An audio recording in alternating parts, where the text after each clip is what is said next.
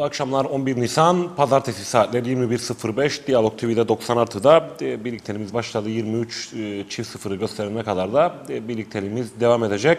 E, 23. haftada geride kaldı Kapet Liglerinde e, Süper Lig'de Çetinkaya Birinci Lig'de Dumlupınar, ise Tatlısı'nın liderliğini sürdükleri hafta geride kaldı. Toplam 62 gol atıldı. Süper Lig'de 24, Birinci Lig'de 22, ikinci Lig'de ise 16 golün atıldığı 23. hafta geride kaldı.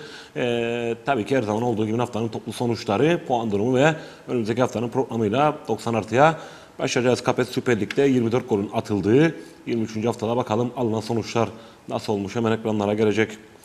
Alsa Türk Gücü 3, Yeni Cami 2, Doğan Türk Birliği 1, Lefke 4, Binatlı 3, Bostancı Bağcıl 1, Mor Menekşe 1, Cihangir 0, Gençler Birliği 2, Küçük Kaymaklı 0, Değirmenlik 3, Yeni Boğaziçi 0, Kayıp Çetinkaya 3, Türk Ocağı 1, 23. haftada alınan sonuçlar.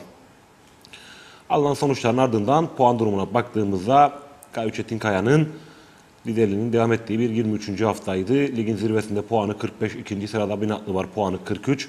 Üçüncü sırada Gençler Birliği puanı 42, dördüncü sırada Malsa Türk Gücü puanı 41, beşinci sırada Lefke puanı 39, altıncı sırada Küçük Kanatlı puanı 32, 31 puanlı iki takım Doğan Türk Birliği 7. Türk Ocağı, 8. sırada 9. Yeni Cami puanı 30, 10. Cihangir puanı 28, 11. Değirmenlik puanı 24, 12. Mor Menekşe puanı 20, 13. Yeni Boğaziçi puanı 18, 14. sırada Bostancı Bağcıl var puanı 15.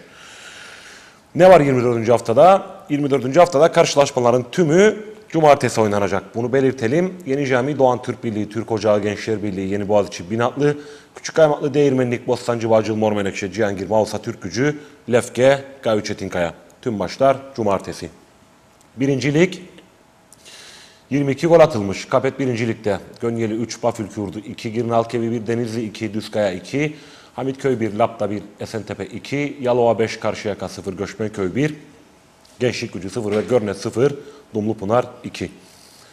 Dumlupınar ligin zirvesinde puanı 54, ikinci Gençlik Gücü puanı 49, üçüncü sırada Yalova var puanı 46, dördüncü Denizli puanı 41, Beşinci sırada Düzkaya puanı 35, 6. Girnalkevi puanı 34, 7. Bafülkürdü puanı 32, 8. Göçmenköy puanı 30, 9. sırada Esentepe puanı 29, 10. sırada Karşıyaka var puanı 28, 11. sırada Gönyeli puanı 27, 12. sırada Hamitköy puanı 21, Görneç yine aynı puana sahip puanı 21, sıralaması 13, Lapta ise ligin dibinde puanı 11. Esentepe Yalova, Hamitköy Girnalkevi, Gençlik Gücü Görneç, Bafülkürdü, Lapta, Dumlupınar, Gönyeli, Denizli, Göçmenköy, Karşıyaka, Düzkaya maçlar pazar günü oynanacak. 24. 24. haftanın programı Kapet birincilikte.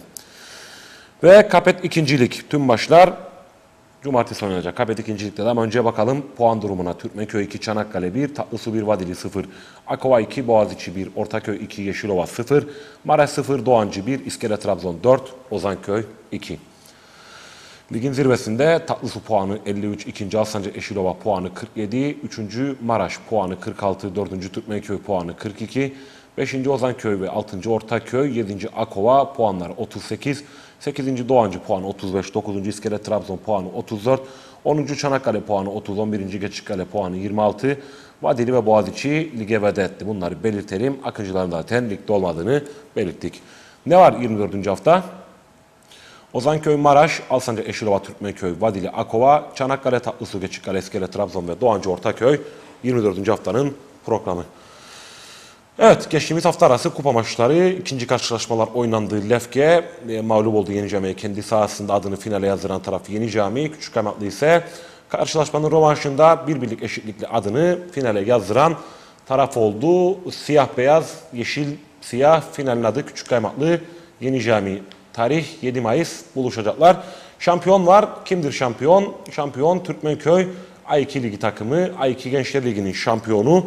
23 hafta sonunda 22 galibiyet, 1 beraberlik, 98 gol atmışlar. Kalelerinde ise 13 gol görmüşler. Ligin bitimine 3 hafta kala 67 puanla şampiyonluğu garantilemişler. Az sonra bu konuyla da ilgili bağlantımız olacak. İstiklal'a değerli bir isim, çok önemli bir konu. Hasan Ecer yine bu hafta bizlerle. Hocam e, teşekkür ediyorum. Kırmadın, katıldın. E, bir kez daha katıldığın için teşekkür ediyorum. Ben teşekkür ederim senin programına çağrıldığım için. Evet. E, keyifli program olduğu e, daha önceleri de söylemiştim. O yüzden e, spor konuşuluyorsa, futbol konuşuluyorsa davet aldığımız yerlere de gideriz Evet. sevgili Beyza'na. Hocam bununla başlayalım. Yeni Cami Küçük Kaymaklı. e, Kıbrıs Kupası final eşleşmesi. E, mutlusun herhalde böyle bir eşleşmeden dolayı. Şu şekilde mutlusun. E, en azından kupada e, ciddi anlamda e, yürüyen ya da işte son süreçte üzerine koyarak gelen iki başkent temsilcisi kupada karşılaşıyorlar. Bir SMS'e geldiği söyleyeyim. E, hazır konu açılmışken e, Hasan Hocama iletin e, ne zaman göreceğiz başkentte bir gece maçı. Böyle bir maçın başkentte gece maçı olması diyor. Doğru bir karar değil miydi? Tabii şimdi kim ilettiyse e, doğru bir şey iletti. Çünkü gece maçlarına hasretiz. Bu ışıklandırma olduğu zaman gece maçları oynanacak diye spor severler, futbol severler e, çok mutlu olmuşlardı. Hatta bazı lig maçları da oynanmaya başlamıştı. Fakat e, sahanın durumu söz İşler konusu. acısı. İşler acısı. Yani tahmin ederim federasyon da bunu düşünerek iyi bir zeminde futbol oynatmak istiyor. Ki Lefkoşa'nın iki güzide takımının finalde eşleşmiş olması tabii ki Lefkoşalı seyircinin de maçların gece Lefkoşa'da yapılmasını istemesi en doğal haklarıdır. Fakat dediğim gibi e, Futbol Federasyonu daha önceden bu kararı vermişti. Ben şundan yanayım. Futbol Federasyonu verdiği kararlardan geri dönmemeli. Sezon başında genelge yayınlayıp kupa maçının tarihiyle hangi sahada oynanacağını önceden belirtmelidir ki kimse ileriki safhalarda saha konusunda herhangi bir endişe duymasın. Yani bugün iki Lefkoşa takımı kalacaksaydı bilinecekti ki Girne'de oynanacak. Ama gönül arzu ederdi gerçekten bir gece maçının olması, Atatürk Stadı'nın bizim saha olarak e, stadın yapılışı, türbün yapılışı, e, yayın kuruluşlarının e, maçı göstermesi, izlenmesi bakımından bu an ülkemizde en iyi saha görüntü olarak. Fakat zemine baktığım zaman gerçekten kötü bir zemin. E, biliyorsunuz Çetinkaya bu yüzden Cihangir'de iki maçını yapmıştı. Ondan sonra da tekrardan e, Atatürk'e döndü. E, futbolcuların sağlığı önemli aslında. Ama o güne kadar bu saha düzeltilir mi düzeltilmez mi hiç tahmin etmiyorum. Zor hocam. Çok zordur. Zor görünüyor. O yüzden önce futbolcuların sağlığını da düşünmek gerekir. İyi bir zeminde, iyi bir karşılaşma olmasını sağlamak lazım. Bu yıl olmadı. Önümüzdeki yıl belki e, ışıklar altında bir final izleyebiliriz. Hocam e, var mı hani e, bir adım önde diyebileceğin iki takıma baktığında gerçi e, şu an e, kestirmek zor e, o sürece kadar ne olur ama illaki iki teknik ekip, iki teknik adam e, artık futbolcular konusunda biraz e, dinlenme, biraz ısrata gidecek ama e, şu bir adım öndedir diyebileceğin var mı bir takım? Yok. Yüzde 50-50 şansları var her ikisinin de. E, Bir kere bir Lefkoşa derbisi. Ezeli bir rekabet var her iki takımda. Uzun yıllardır bu iki takım final oynamadı. Kupa finali özellikle. Bunun ayrı bir e, özelliği vardır. E, ve dolayısıyla iki takım da bu senenin sezona biliyorsunuz şampiyonluk iddiasıyla başlayan takım e, konumunda değillerdi bu ikisi de. Devre arasında e, şampiyonluk yolunda e, demeçler verilmeye başladı. Fakat iki takım da ikinci devrenin hemen başından itibaren hüsranla e, noktalanan maçlar oynadılar. Daha sonra kendi taraftarını, camiasını ve futbolcuları da bu yılı en azından bir kupa ile veya bir madalya alarak e, bir final oynayarak bitirmek istediler. Sonuç olarak da iki takım da iyi. Ee, küçük kaymaklı son haftalardaki performansı ortada. Ama o güne kadar daha e, bir aylık neredeyse yaklaşık bir aylık bir süre var. O güne kadar performansı ne olacak takımın, futbolcuların konumu ne olacak, kırmızı kartlar, sakatlıklar, antrene şekilleri tabii ki bunu iki takımın teknik adamı ayarlayacaktır mutlaka. Çünkü e, camialarına bir kupa ile sezonu e, kapatmak istediklerini söyledi iki takım da. Bence güzel bir final olacak. Kimin kazanacağı mümkün değildir önceden e, bilmek. Çünkü kupada telafisi olmayan tek maç. O günkü performans her futbolcu için çok önemlidir. Çıkarsınız o gün çok iyi, kendinizi çok iyi hissedersiniz, günündesiniz. Biraz da şansınız yardımcı olur. Çok güzel bir maç çıkarıp e, kupayı alırsınız. E, ligdeki maçlarla tamamen çok farklı bir atmosferde oynanan karşılaşmadır. Futbolcular sahaya çıktığında daha önceden böyle final oynadığım için biliyorum. Biliyorsunuz 90 dakikanın sonunda maç bitecek ve sonunda şampiyonun kim olacağı belli olacak. Futbolda e, lig bir maratondur. Her hafta ayrı bir performans, ayrı bir kadroyla oynayabilirsiniz. Ama şu andan itibaren her iki takımın da kendi kafalarında oluşturacakları bir kadro vardır. Ve ikisinin de bana göre son 2-3 haftadır performansları Kaymaklı'nın biraz daha yüksek. E, Yeni Cami'nin de performansı hele hele kupa finali olduktan sonra ortaya koydukları futbola baktığımda gerçekten e, sezon başı ikinci devrenin hemen başında oynadıkları kötü futboldan her iki takım da uzaklaşmıştır. Dolayısıyla bana göre çok güzel bir final olacak diye düşünüyorum. Evet, e, bekleyelim, görelim. Evet, e, bir telefon bağlantısı var. Türkmenköy e, A2 Ligi takımı e, Özkan Gaziler hattımızda. E, Sayın Gaziler iyi akşamlar. Ee, iyi akşamlar Beyzade. İyi akşamlar Hasan Hocam. İyi yayınlar. Evet. İyi akşamlar. E, antrenör sıfatını mı kullanayım, başkan sıfatını mı kullanayım? E, Şimdi yayından önce de arkadaş sormuştu. Yani açıkçası antrenör olarak yani 4 yıl vasıtasının antrenörlüğe başladık. Bir mecburiyetten dolayı 3 aydan beri o görevi de üstlendik ama Evet. e, antrenör olarak derse daha memnun Evet, olurum yani. e, hocam o zaman e, yeniden iyi akşamlar dileyim. Teşekkür ediyorum katıldığınız için. Tebrik ediyorum. E, 23 haftada 22 galibiyet, bir beraberlik, namağlup bir Türkmenköy. 67 puan ligin bitimine 3 hafta kala A2 ligi takımı e, şampiyon olarak e, sezonu tamamlamasanız da 3 hafta kala şampiyonluğunuzu ilan ettiniz. E, neler söylemek istersiniz, neler aktarmak istersiniz? E, sözü size vereyim daha fazla tutmayayım. Ee, öncelikle teşekkür ediyorum ee, Diyalog TV'ye de sizlere bize bu imkanı sunduğunuz için teşekkür ediyoruz. Ee, şampiyonluğa gelecek olursak e, sezon öncesi e, 8-9. aya girdik. İyi çalıştık. Yaz sezonu, kış sezonu, yağmur çamur demeden e, çocuklarımız gerçekten çok iyi niyetli, çok özverili bir şekilde çalıştılar. E, hak ettik. Yani sezon öncesi ilk üçlü hedefimiz ve Lig'de şampiyonluktu.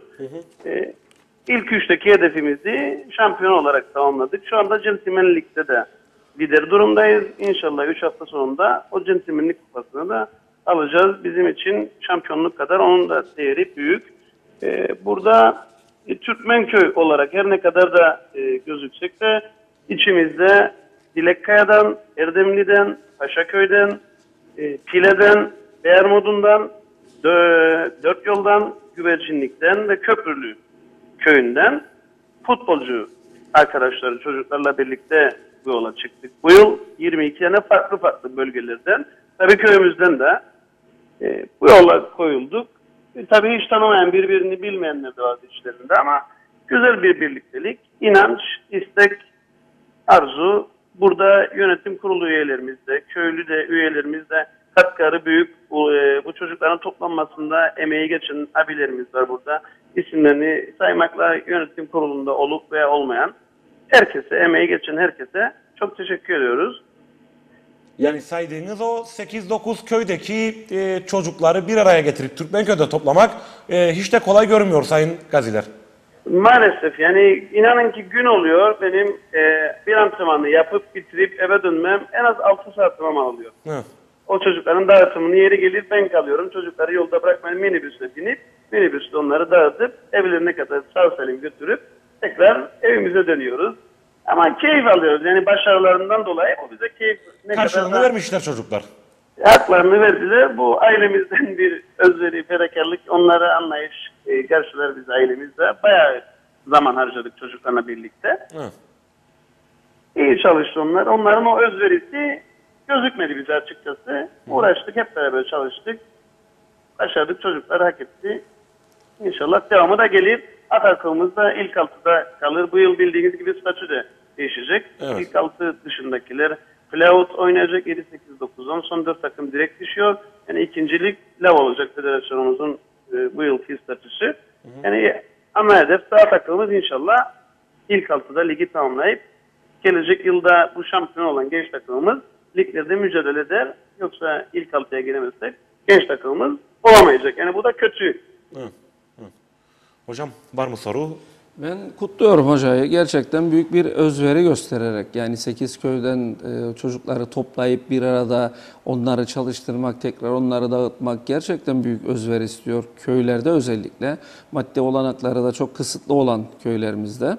Ve üzüldüğüm nokta az önce Özkan Bey'in söylediği gibi yani eğer ilk altıya kalmaz e, kümede düşerse Türkmenköy.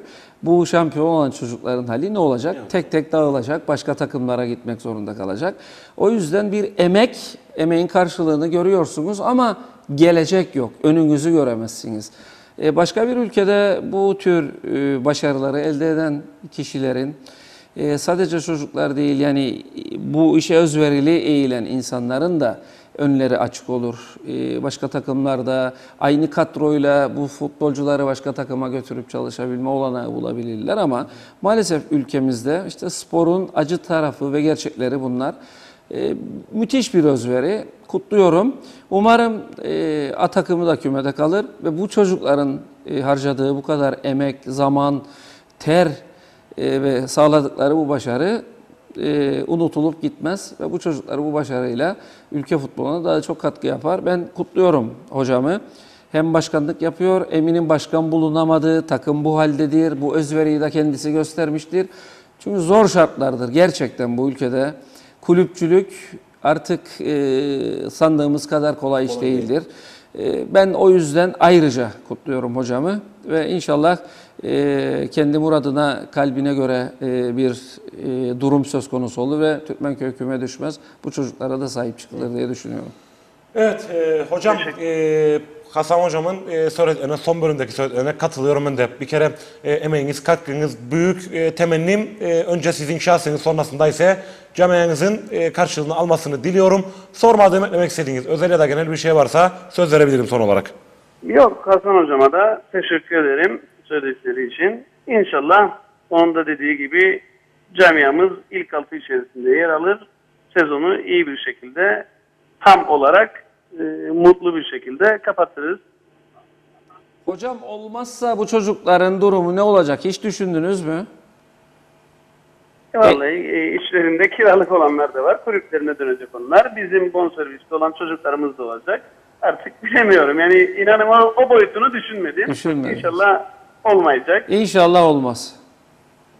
İnşallah. Evet. Hocam teşekkür ediyorum katıldığınız için. E, ilerleyen süreçte yeniden birlikte olmak dileğiyle. İnşallah ben teşekkür ederim. İyi akşamlar, iyi yayınlar. Teşekkürler hocam. sizlere. Evet e, hocam e, Gavi Çetinkaya Türk Hocağı maçıyla başlayacağız ama e, en belirgin özellik bu hafta kapetliklerinde ilk 4 sırada yer alan Gavi Çetinkaya Binatlı Gençler Birliği ve Malsa Türk Gücü'nün e, kayıtsız geç, e, bir hafta. E, gider mi hocam böyle kalan 3 haftada bu şekilde gider mi hani yoksa e, bir fire bekliyor musun bu hafta itibariyle? Tabii şimdi bu hafta itibariyle değil. Ben bu hafta e, Çetinkaya'nın çok zor bir maça, aynı zamanda Binatlı'nın da çok zor bir maça gideceğine inanıyorum. E, Çetinkaya yaralı, revire dönmüş adeta. Kolay bir iş değildir. Yani mevcut kadromuzla mücadele ederken bir anda birçok futbolcumuzun sakat duruma düşmesi hem moral motivasyonlarını e, azaltır hem de takım kurmakta zorlanıyor Fırat Hoca. Dolayısıyla e, Lefke'de bu ülkede önemli bir deplasman. Kim ne isterse desin ben Lefke'nin gerçekten bir deplasman olduğuna inanırım. Ne kadar iyi futbol oynarsanız oynayınız oraya gidip orada galip gelmek e, büyük bir başarıyı ve özveriyi gerektirir.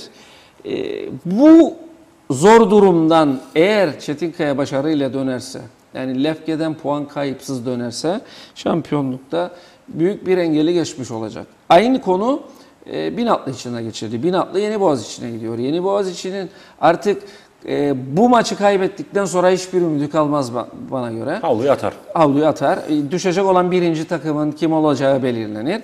Binatlı puan kaybederse, Çetinkaya puan kaybetse bile o zaman e, herhangi bir kaybı olmaz gibi görünebilir. Çünkü e, ben Çetinkaya'nın maçlarına baktım.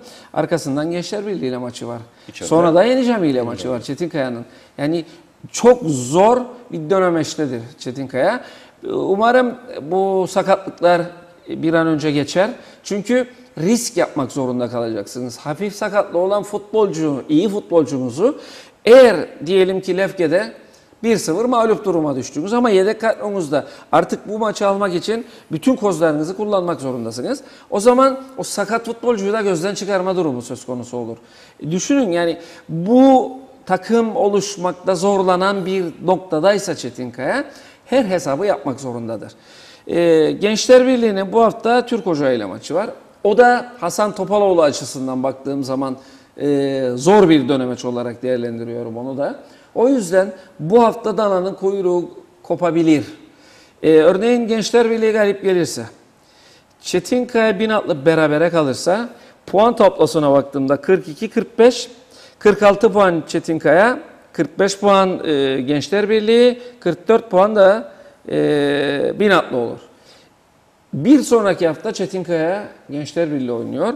Bir sonraki hafta Binatlı'nın maçı da Küçük Kaymaklı'yla. Yani öyle bir döneme girdi ki tahmin yürütmek özellikle üstte çok zordur.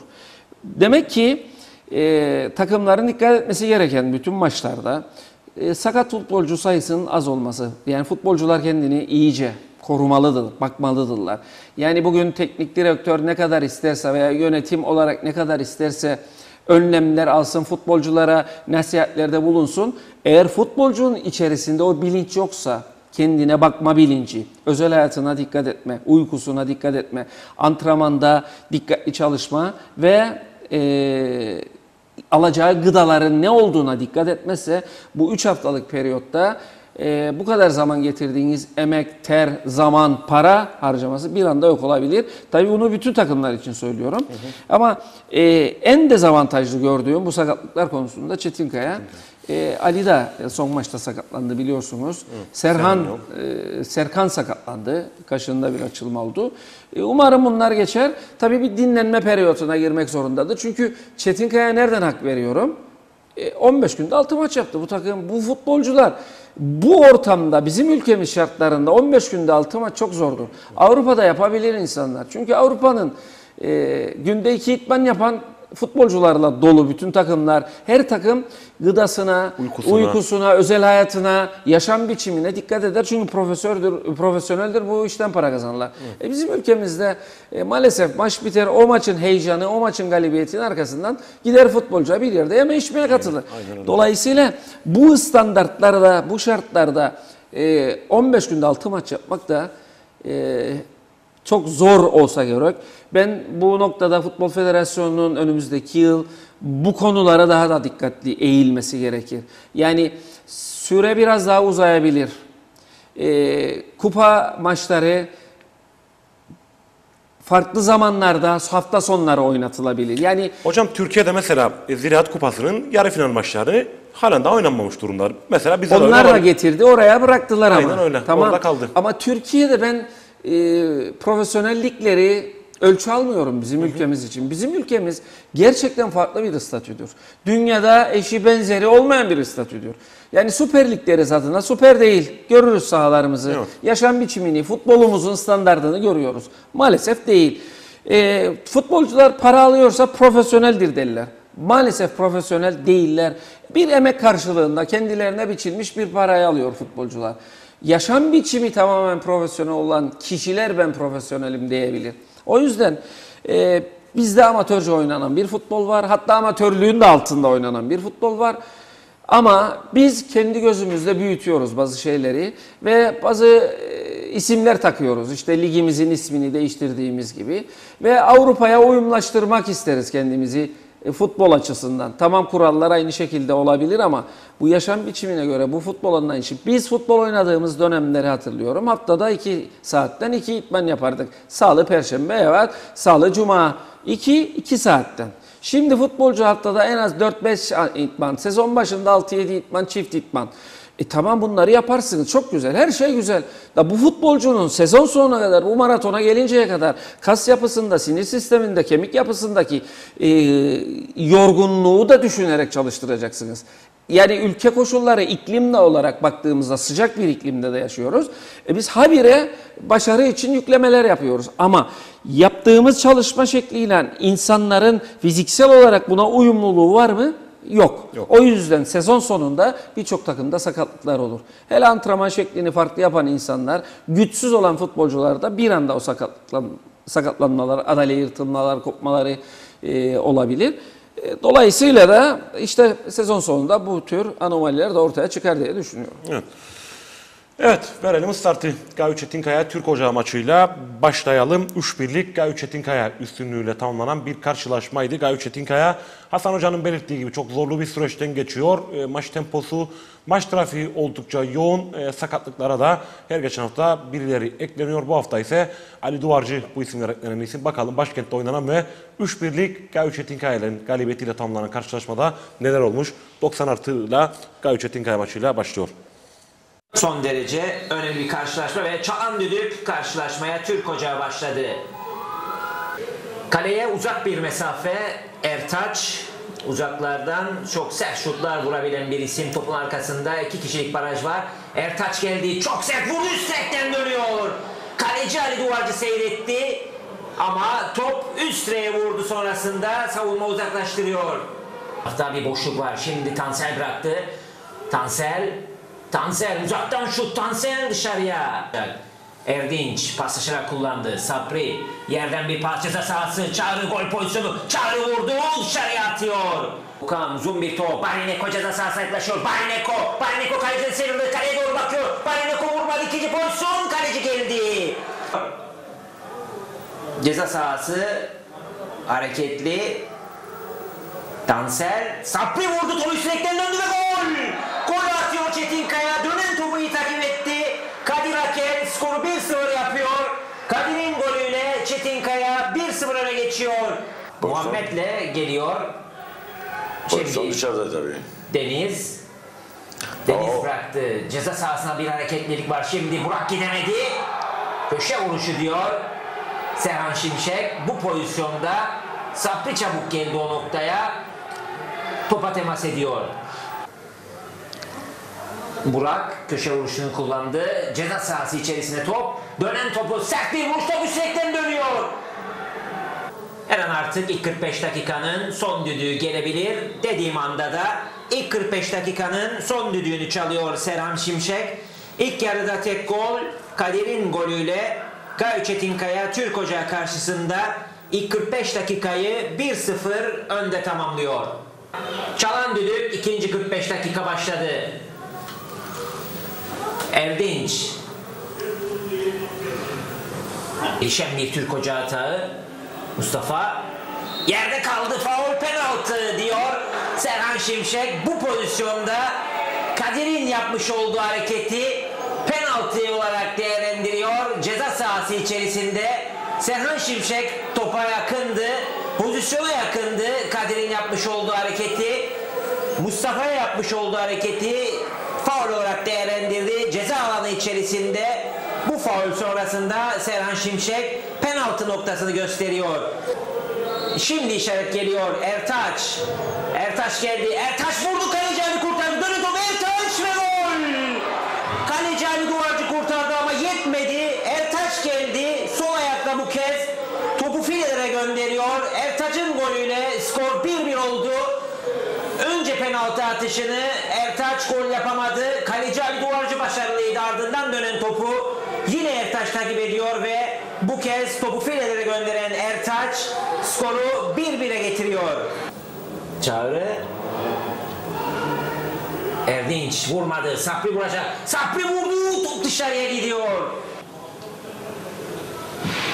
Ceza sahasına gidiyor. Emeka, Emeka ceza sahasında. Emeka zorladı. Emeka dışarı. Ertaç kafayla dışarıya. Karşılıklı pas hataları var bu dakikalar içerisinde. Deniz yerden pas ceza sahası Emeka gol pozisyonu kaleci Ali çıktı. Boşta kaldı top uzaklaştırıyor ama düdük geldi bir faul var. Emeka ile Ali'nin çarpışmasında iki futbolcu da yerde kaldı. E kalan 3 maç olacak. Bu arada ceza sahasına Ertaç döndü top. Faul. Serkan rakibine gidiyor. Sarı kart.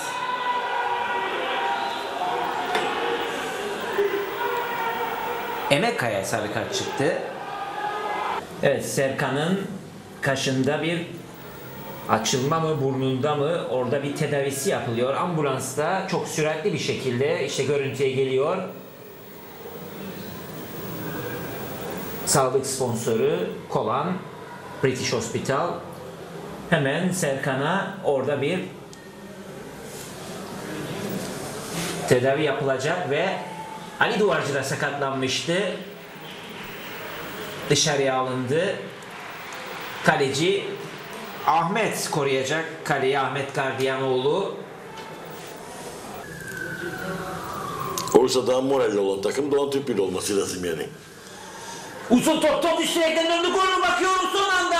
Kaleci gol diyor yardımcı hakem koşuyor. Yardımcı hakem koşuyor golü veriyor. Yardımcı hakem Turgay Miske baktı. Serhan Şimşek golü verdi. Golün adı Barinek orada ve itirazlar var ama yardımcı hakem gol diyor. Öne geçiyor Çetinkaya. Skoru 2-1 yaptı. Dakika 84. Çetinkaya'nın golü geldi. Skor 2-1 oldu. Bir anda top kale direğine vurdu. Kaleci Cenk'e vurdu. Müdahalesi vardı. Yardımcı hakeme baktım. Turgay Miz koştu. Gol dedi. Serhan Şimşek de veriyor. 2'yi yakalıyor. Bu arada Çetinkaya hata. Erhan ceza sahasına doğru şimdi. Tansel gidemedi. Yerde kaldı penaltı. Tansel gidemedi. Yerde kaldı penaltı. Maçın artık son uzatma dakikasına girerken Tansel'in yerde kalmasından sonra Çetinkaya penaltı kullanacak. 90 artı 4. dakikaydı. Son dakikaya girdik artık. 90 artı 5. uzatma dakikası Kadir. Kadir geldi. Kalesine Cenk dikkatli. Kadir vurdu ve gol. Kadir'in golüyle fark 2'ye çıkıyor. Çetinkaya skoru 3-1'e getirdi. Kadir Ake'nin penaltı golü ve ardından da maç tamamlanıyor. Kadir'in golü skoru tayin ediyor Lefkoşa Atatürk Stadı'nda. Gavi Çetinkaya 3, Türk Ocağı 1 ve Gavi Çetinkaya bu zorlu mücadeleden 3 puanla çıkıyor.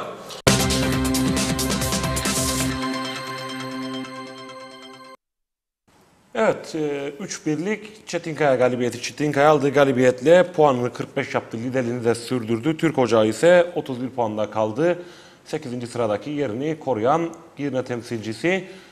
3 tartışmalı pozisyon. Hocam tartışmalarla başlayalım e, dilersen. Gelsin sevgili Serkan ilk tartışmalı. Bakalım ilk tartışmalı hangisiymiş? Evet, Türk Ocağı hatağı. Evet, hocam. Ya bana göre çift vuruş. Çift vuruş. Tabii. Zaten Tehlikeli bir Rıza Hoca'nın da hareket. is- isyanı var burada. Ka- Kararı hiç beğenmiş değil. Hayır. Yani kim vurdu? Serhan orada şikayet ediyor. Serhan'dır galiba şikayet eden. Serkan. Serkan. Serkan herhalde. Şimdi bak Serkan'ın boy avantajı var ama kafayı sokuyor oradaki oyuncu yüzüne de tekme Burak, gelebilir. Burak orada. Burak. Dolayısıyla yani bu çok net bir çift vuruş. Şu gerektiren bir hareket. Hakemin de yakın olduğu bir pozisyon hocam. Yani niye çalmıyorlar bunları? Ben onu anlamakta zorlanırım gerçekten. Yani bu bir kural ya. Kaldırmayacaksın ayağını o kadar. Tehlikeli hareket. Bak, Kortus daha fazla kafasını soksun. Top dışarı gitti. Şimdi belki de şikayet eder orada. Ama Serkan değil o şeydi Sapri. zaten. Sapri mi? Sapri hocam. Ha Sapri'dir o. Sapri ve Evet. Burak. Evet. Evet gelsin diğer pozisyon.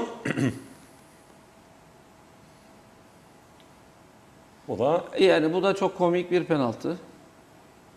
Hafif bir temas olsa da futbolcunun kendini yere atmasına bak nasıl dizlerinin üzerine çöktü. Bak Evet. yavaş oynatsak orada çok net görünecek. zaten pozisyon. yavaş oynamadan bile belli hocam. Yani Gel- bak, Geldiği gibi bırakıyor bak, kendini bak. yere. Evet. Yani bu bu komik bir penaltı. Ya gerçekten yani ben hayatımda böyle bir penaltı görmedim. Diyelim ki ayağına temas etti hafif. Yani burada futbolcu gidecekken önündeki topu bırakıp düştü. Evet. Son pozisyon. Evet hocam. Ben Bu bunu, da- bunu bekliyordum Bak, aslında. Bu gol çok net bir gol.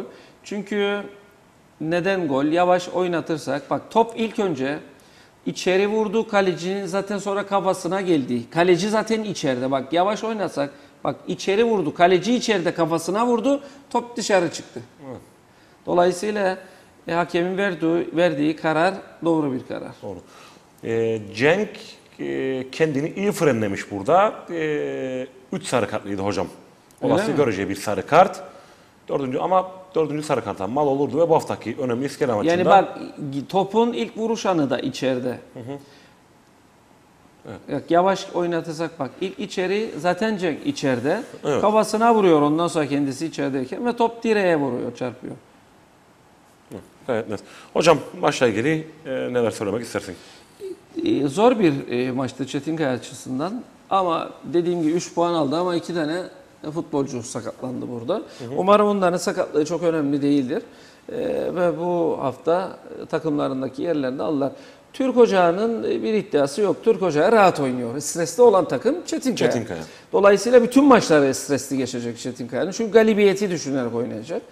Ee, mağlup duruma da e, düşse e, şeylerini kaybetmemeleri lazım. E, iradelerini, güçlerini, motivasyonlarını kaybetmemeleri lazım. Çünkü yüzdüler yüzdüler sonuna geldiler. Ama bu maçta e, Çetinkaya'nın çok gol kaybettiğini de izledim görüntülerde. Fakat dediğim gibi yani e, Ocak çok rahat oynadı. Kaybedecek hiçbir şey yokken Ocak'ın.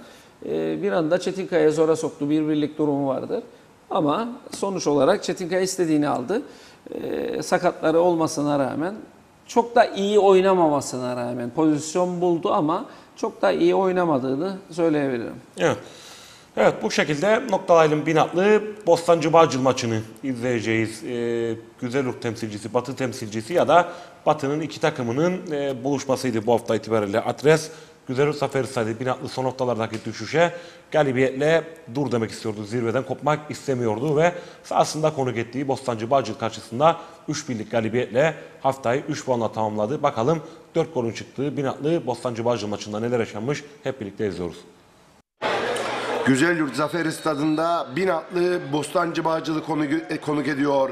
Güzelyurt derbisinde ligin altında mücadele eden Bağcılı ile şampiyonluk savaşı veren Binatlı'nın mücadelesi karşılaşmaya Binatlı hızlı başladı. Bello'nun kafa vuruşu üstten avuta gitti. Ligde kalma adına çok önemli bir maç e, Bağcılı için. Şampiyonluk adına da Binatlı için o kadar önemli. Sağdan yapılan Binatlı hata kafa vuruşu John'dan kalecide kalıyor. Zeki. Şimdi Binatlı hata Bello dönerek vurdu. Ceza içerisinde Burç ama kalkan offside bayrağı var. Osman Özpaşa kalkan offside bayrağını değerlendiriyor ve golü geçersiz sayıyor. Karşılaşmada her iki takımda karşılıklı atakları var. Sağ taraftan Binatlı Ömer'le geldi uzaktan vuruşu üstten avuta gitti. Şimdi ceza alanı içerisinde Bağcıl hata, atak, vuruş kaleciden döndü. Zeki bu pozisyonda başarılı ama kalkan offside bayrağı burada da var. Şimdi Raif, Raif dakikalar 30 uzaktan vuruş ve top filelerde. Raif klasını konuşturdu. Dakika 30 izliyorsunuz. Güzel bir vuruş. Kaleci Zeki'nin müdahalesi yetersiz ve top filelerde.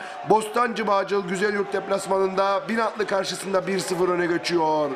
Gol Raif Binatlı sah- sahasında 0. Bostancı Bağcıl 1.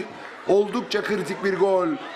Binatlı bu golden sonra eşitliği sağlamaya çalışıyor. Batsi ceza içerisinde Bello kafa vuruşu üstten avuta gidiyor. Net bir pozisyonda ama üstten avuta gidiyor. Kaleci Ufuk'un da sakatlandığı bir pozisyon var. Şimdi gol pozisyonu Ömer kafaya vurdu top filelerde. İzliyorsunuz. Savunma arka direkte Ömer kafayı vuruyor ve topu filelere gönderiyor. Ömer'in golüyle skor 1-1 oluyor. Dakika 44. Arka direkte Ömer affetmedi ve skoru 1-1 yaptı.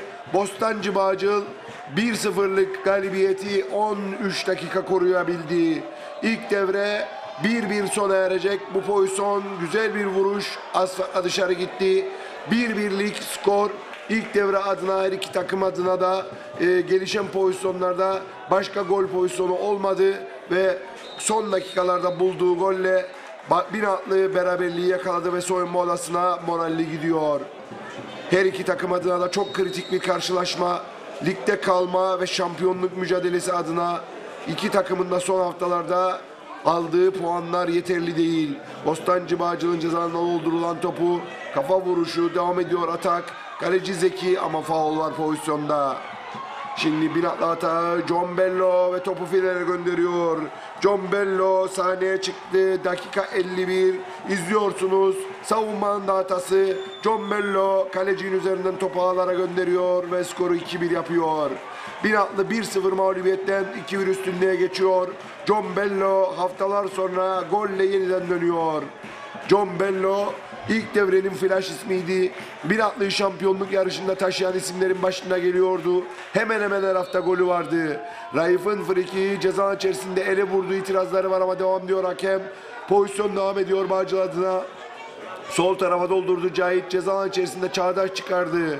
Şimdi Batsi ile geliyor. Binatlı Ömer İstellos orta yapıldı. Ceza içerisi Bello düzeltti. Vurdu ve top ağlara gitti. Vurdu ve top ağlara gitti. Dakika 76. 3-1 yapıyor Binatlı. Bu arada e, görüntülere yansımadı. 66. dakikada Zihni Bostancı Bağcıl'dan kırmızı kart gördü ve takımını 10 kişi bıraktı. 2-1 öndeyken Binatlı Bağcıl'da zihni kırmızı kart görmüştü. John Bello'nun arka arkaya 51 ve 76. dakikada golleriyle skor 3-1.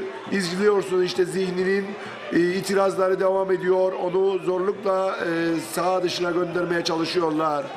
3-1'lik Binatlı üstünlüğü çok önemli bir galibiyet Binatlı adına. Çok önemli bir mağlubiyet Bostancı Bağcıl adına ve karşılaşma tamamlanıyor.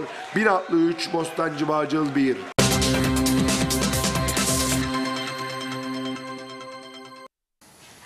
Evet 3-1'lik galibiyet John Bello'nun haftalar sonuna golle tanıştığı bir karşılaşmaydı. Kazandı ancak rakiplerin de kazandığı haftayı o da kayıpsız geçmeyi başardı. Bakalım neler olacak. Ee, hocam çoğu kesime göre yok yani o Binatlı'da ilk devredeki hava, motivasyon yok yani bundan uzak ama ee, hani kupada da yoklar. Kupaya da e, erken havlattılar. Yeni Cami'ye elendiler. Ee, hani Hasan Ecer'e göre e, Binatlı'nın nedir işte kalan haftalardaki durumu ya da görüşü nedir bu konuyla ilgili? Şimdi Çetinkaya kadar şanslı, Gençler Birliği kadar şanslıdır ee, bana göre e, Binatlı'da. Şimdi Binatlı'nın ilk devredeki o müthiş bir çıkışı yoktur diyorsunuz. Doğru katılıyorum ona. İlk devrede herkesin küme düşecek dediği bir noktada işte e, lige bu yıl girdi Süper Lig'e. Biri alt kümeden üste çıktıydı. E, ama öyle bir çıkış gösterdiler ki diğer takımların da bu sene kötü olmasından yararlanarak çok iyi bir noktaya geldi. Ve inançları da arttı. Özgüvenlerinde bir patlama oldu bu çocukların. İkinci devrenin başında daha doğrusu o e, dev, e, transfer döneminde maddi açıdan çok da e, iyi durumda olmadıkları için transfer yapamadılar. Hatta John Bello'nun gelip gitmesi gelecekti gelmeyecekti bunlarla uğraştılar. E, Bir takımı bunlar etkiler. Şimdi Çetinkaya ikinci devrede hemen başında transferler yaptı. İki tane en az üç tane futbolcu aldı. Ee, yeni cami transfer yaptı. Küçük kaymaklı transfer yaptı. Dolayısıyla şampiyonlukta iddialı olan takımların ikinci devrenin başında eksik noktalara adam alacakken ve kadro derinliğini çoğaltacakken bunu yapamadı. Bu bir e, zayıf tarafı olmuştur ikinci devrenin başında. Ama ikinci devrenin başında gene müthiş bir önde götürülüş vardı. Yani e, liderlik koltuğunda oturma vardı. Ama dediğim gibi bu bir maratondur. Kupa maçları gibi işte eliminasyon usulüyle gitmiyor. Bu performansınızı her maçta göstermek zorundasınız. Maratonun sonunda şampiyon olmak isterseniz. Bunun için de bazı noktalara, kilit yerlere adamlar yerleştirmeniz lazım. Yani sahada e, bu futbolcu oynayamazsa bunun yerine alternatifi olması gerekir. Bunu yapamadılar. Ama buna rağmen bugün hala da şampiyonlukta iddialı bir durumdadılar. Ee, Kemal Uçaner'in sakatlanması, Kemal Uçaner'in takım üzerinde müthiş bir abilik e, kontrolü vardır. İşte yaşından dolayı, binatlıdan doğup büyümesinden dolayı, ailesinin çoğunun binatlıcı oluşundan dolayı orada kendinin bir ağırlığı var. John Bello ile e, Kemal Uçaner'in o ilk devreki performansı da takımı sürükledi götürdü. Bir baktığın zaman Binatlı'ya aralarından yıldız futbolcu diyebileceğin biri yok. Al yabancıları dışarı. Kemal Uçaner'in tecrübesini al. Diğer çocukların hepsi standart futbol oynayan, hemen hemen birbirlerine yakın futbol oynayan çocuklar. Flash kim var aralarında yok. Ama hepsi eşit düzeyde oynuyor. Dolayısıyla bu takım bir e, üniversite takımı gibi çıktı, inandı, karıncalar dediler kendilerine. Ve bu noktaya kadar geldiler. Hala da ligin bitimine 3 hafta var ve bu sene isimlerinden bahsettiriyorlar. Kim ne isterse desin. Bana göre Binatlı bu sene çok büyük bir başarı göstermiştir. Şampiyon olsun veya olmasın. Benim nazara itibarımda iyi işler başardı. Renk kattı, kalite getirdi liglerimize, iddia getirdi. Taraftarıyla bütünleşti. Uzun bir aradan sonra Süper Lig'de oynamanın vermiş olduğu o heyecanla iyi noktalara geldi. Şampiyon da olabilecek bir noktadadır şu anda. O yüzden ben e, Binatlı'nın e, bu noktada oluşunu gerçekten e, takdir ediyorum. Zor şartlarda gidiyorlar. Çünkü güzellik bölgesinde biliyorsunuz yani maddi kaynaklar e, yardımlarla dururlardı. Eskiden işte e, her sene araba değiştiren bir e, sermaye kesimi vardı orada. Onların katkılarıyla da Bafül Kürdün şampiyon olduğu dönemler vardı. Binatlı'nın iyi bir noktada olduğu dönemler vardı. Sonra Bağcılık kuruldu orada. Yalova oldu falan. Bu bölündü. Şimdi eskisi kadar ekonomik gücü yüksek bir bölge değildir. Dolayısıyla da Binatlı'nın bu noktada olması, bu kadar ekonomik gücü olmayan bir bölgeden şampiyonlukta iddialı bir takım konumuna gelmesi. Tabii arkasında Çangar'ın olduğu söyleniyor. Bazı kişilerin Lefkoşa'dan yardımcı olduğu söyleniyor kendilerine ama bu çocuklar alın teriyle bu noktaya kadar geldiler. Ne isterse olsun bunları takdir etmek gerekir diye düşünüyorum. Evet. Var mı sevgili Serkan tartışmalı pozisyon? Evet bir tane tartışmalı pozisyonumuz varmış. Getirelim ekranlara ve bu maçı da noktalayalım. Evet hocam. E, Burada el, evet bak ha, sekiyor ve el. Orada handball var. Penaltı. Tabii. Penaltı. Hatta ne der şeyler, e, hakemler gelip düdüğü çaldığında elinizi işaret daha istiyor. Kaldırmayacaksınız bak. Burada haklı bir itirazı var. Raif'in. Raif- Hocam barajı uyaran hakem. Elini kaldırma diyen hakem. yani bu top pozisyonda bak nerede? kaleye bak durduralım orada tam elini vurduğu anda. Bak vurmasa nereye gider? Bu top kaleye, gider, gider. değil mi? Penaltı. Penaltı. Pozisyon penaltı. Evet. Durdurdu bu şekilde. Evet hocam. Evet bak Kaleye gider. bu kaleye giden bir top elinle topu kesmişsindir ve yani bunu hakem nasıl görmez? Bu bariz bir penaltı. Penaltı. Evet bu şekilde noktaladık Binatlı Bağcıl maçını Gençler Birliği Küçük Kaymaklı maçıyla devam edeceğiz. Bu maçın sonrasında ise Küçük Kaymaklı Teknik Direktörü Mehmet Bolkan'a ulaşacağımızı belirtelim. Gençler Birliği geçtiğimiz hafta sarsıldı. Ee, Hasan Topaloğlu'nun aldığı ceza sonrası ciddi anlamda e, sarsılan bir Gençler Birliği camiası. Rakip Küçük Kaymaklıydı. Ancak 2-0'lık galibiyetle Gençler Birliği hanesine 3 puanı yazdırdı. Hem de e, şampiyonluk yolunda kayıpsız devam etti. En azından zirveden kopmamayı başaran bir Gençler Birliği maçı vardı. İzleyelim bakalım Gençler Birliği Kaymaklı maçında neler yaşanmış. İskele Cumhuriyet Stadı'nda Gençler Birliği'nin konuğu Küçük Kaymaklı. Gençler Birliği zirvedeki iddiasını sürdürebilmek için 3 puan istiyor. Küçük Kaymaklı atağı Kaleci Ali iki hamlede topu kontrol ediyor. Gençler Birliği atağı savunmadan dönen top. Emanuel havalandırdı ceza sahasında kimse topa vuramıyor. Bu kez küçük kaymaklı hatağı Remzi ceza sahası içerisinde yine kaleci Ali çıkıyor. Gençler Birliği gol arıyor. Ceza sahasında iyi vuramadı Taceddin dönen top. Savunma kapanıyor küçük kaymaklıda. Neval topu uzaklaştırdı. Malik ceza sahasında yaptı ortasını. Top dışarıya gidiyor. Küçük kaymaklı sağ taraftan Remzi ceza sahasında sert bir vuruş yerden kaleci iki hamlede sonrasında Şoko'nun vuruşunu savunma uzaklaştırdı. Gençler Birliği gol arıyor. Kale sahasında Emanuel iyi vuramadı topa. Sertan o pozisyonu değerlendiremedi. Remzi yine ceza sahasında kaleci Ali topu kontrol ediyor. Sağ taraftan Sertan ceza sahasına topu havalandırdı. Ancak Emanuel bu topa yetişemiyor. Küçük kaymaklı hatağı sonuç getirmedi. Ve ilk 45 dakika golsüz eşitlikle tamamlandı. İkinci 45 dakika Gençler Birliği oyuna başlıyor. Gençler Birliği hatağı sol taraftan ceza sahasında kötü vuruyor. Top dışarıya gitti. Emanuel. Malik döndü. Tekrar Emanuel iyi vuramadı topa. Açılan top. Küçük kaymaklı savunması uzaklaştırdı ama bu dakikalarda Gençler Birliği'nin baskısı devam ediyor. Emanuel ceza sahasında Emanuel vurdu. Top yan kale direğinden dışarıya gidiyor. Gole çok yaklaşmıştı Gençler Birliği. Ahmet bıraktı. Remzi ceza sahasında kaleci Ali başarılı. Yeni bir Gençler Birliği atağını izliyoruz. Küçük kaymaklı savunması yerleşti. Ara pası Emanuel ceza sahasında. Emanuel dönen top ikinci vuruş. Emanuel gol. Emanuel'in golü Gençler Birliği aradığı golü 60. dakikada buluyor.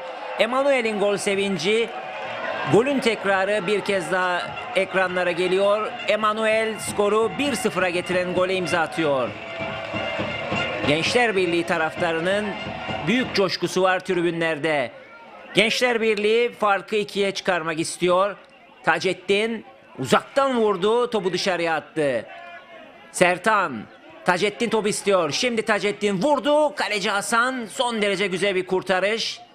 Ama Gençler Birliği atakları peş peşe geliyor. Bir kez daha Gençler Birliği atağı ceza sahasında Taceddin önce kontrol sonra vuruş ve gol. Bu kez golün adı Taceddin. Dakika 79. Gençler Birliği Küçük Kaymaklı karşısında farkı ikiye çıkarıyor. Gençler Birliği 2, Küçük Kaymaklı 0. Taceddin işte gol bir kez daha ekranlarınıza geldi. Gençler Birliği taraftarı görüntüdeydi. Kullanılan serbest vuruş kaleci Ali iki hamlede de olsa topu kontrol etmeyi başardı. Ve maçta artık son anlar çalan düdük maç bitiyor ve Gençler Birliği haftayı 3 puanla kapatıyor.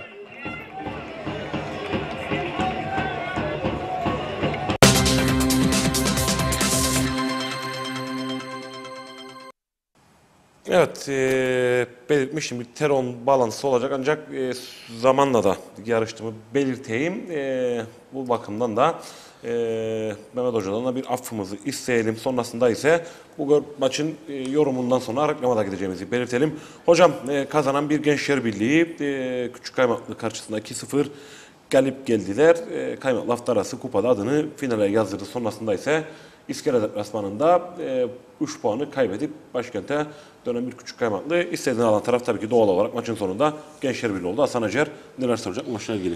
Tabii Gençler Birliği yoluna devam etmesi için kendi evindeki maçı mutlaka alması gerekiyor. Zaten bir motivasyon yüksekliği vardı e, Gençler Birliği'nde. Neydi o? E, Hasan Topaloğlu'na hafta arasında verilen işte 370 gün ceza, tarihi bir ceza. Dolayısıyla e, bu Gençler Birliği halkını, İskele halkını ayaklandırdı. Formalar yaptırıldı. Hasan Topaloğlu'nun resimleri formaların üzerinde dağıtıldı orada. Yani bir motivasyon etkisi yarattı Hasan Topaloğlu'nun e, ceza alması. Dolayısıyla kaymaklarında herhangi bir iddiası kalmadı. Sadece e, kupayı düşünüyor. O yüzden o da fazla maça asılmadı ve Gençler Birliği daha rahat bir galibiyet elde etti burada. Çünkü kazanması gerekirdi. Yani burada kaybedeceği puan Gençler Birliği'ni e, yarıştan koparırdı. Sonuç olarak da istediğini e, elde eden bir takım oldu Gençler Birliği. Ha bundan sonra Gençler Birliği ne yapar? Çok önemli iki tane karşılaşması var Türk Ocağı haftaya. Ondan sonra da Çetinkaya. Ya düğümü kendi çözecek. Eğer şampiyon olmak isterse e, bütün maçlarını kazanması lazım. Kazandığı takdirde, e, bütün maçlarını kazandığı takdirde şampiyonluğun en büyük adaylarından biri olarak e, gündemde duruyor benim en azından benim e, hesaplarımın içerisinde. Üç tane takımı e, gündem yaptım. Çetinkaya, Binatlı ve Gençler Birliği. Tabii bunların arasında e, en avantajlı yine de e, Binatlı'yı görüyorum. Bu haftanın Çıkması dışında. durumunda deplasmandan. Evet. Bu hafta deplasmandan puanlı çıkarsa geriye kalan maçları Küçük Kaymaklı ve Türk Ocağı'dır. Yani iddiasını kaybeden iki takımla oynayacak son iki maçını. Çetinkaya'nın puan kaybetmesi, Gençler Birliği'nin puan kaybetmesi, Binatlı'nın bu hafta galip gelmesi e, şampiyonluğa taşıyabilir kendisini. O yüzden e, Gençler Birliği önemli bir adımı geçti burada. Kendi evinde yaptığı ki en azından şampiyon olacak takımlar kendi yerinde oynadığı karşılaşmalarda puan kaybetmemeleri gerekir. Bunu başardı. O yüzden e, kutluyorum Gençler Birliği. Hocam son bölümde Hasan Hoca'nın aldığı cezayı e, soracağım. E, şu an reklam edeceğiz ama e, görüşünü de çok merak ediyorum bu konuyla ilgili. Var mı tartışmalı pozisyon? Yok. Evet.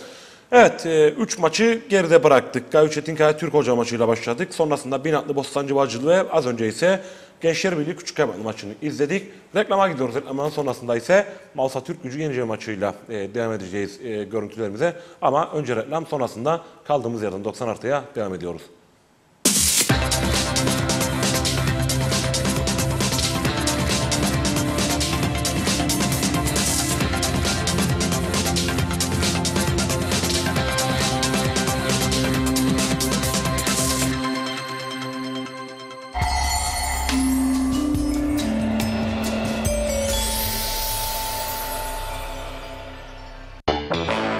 Gazetesinden hediye yağmuru devam ediyor. Her eve lazım hediyeler sizleri bekliyor. Her hafta 10 değil, 20 değil, tam 40 okuruna. Elektrikli ev aletleri veriyor. Her hafta 10 kişiye Boz tost makinesi. 10 kişiye ekmek kızartma makinesi. 10 kişiye Boz kahve makinesi. 10 kişiye Boz buharlı ütü. Bu fırsattan yararlanmak için sadece 7 kupon biriktirmeniz yeterli. Detaylı bilgi Diyalog Gazetesi ve web sitemizde.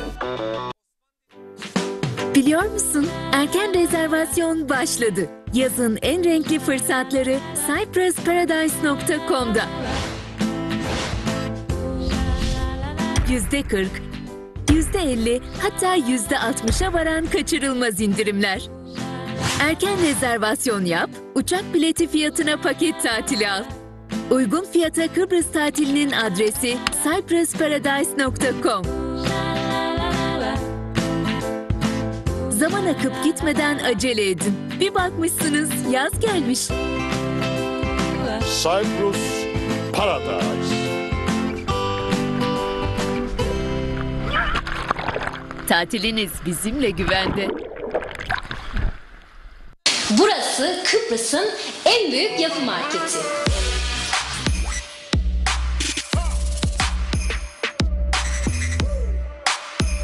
Hammerite metal boyalarından Stanley el aletlerine, Black Decker ev aletlerinden, su armatürlerine, her türlü elektrik malzemelerinden bin bir çeşit Marshall boyalarına. Ayrıca 4 katlı 1000 metrekare showroomumuzda aradığınız her şey ve daha fazlası Demir Bilek Yapı Market'te.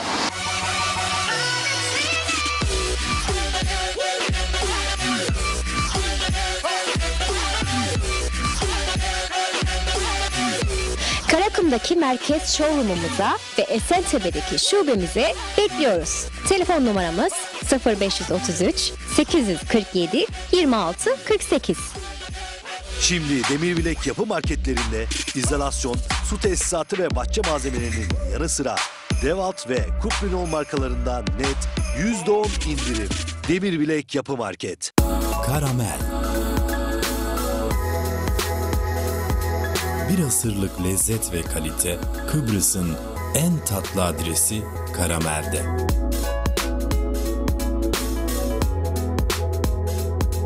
Her damak zevkine uygun ürünlerimizle hayatınızı tatlandırıyoruz. Drajelerden şekerlemelere, çeşit çeşit çikolatalardan lokuma, zengin çeşitlerimizle hizmetinizdeyiz.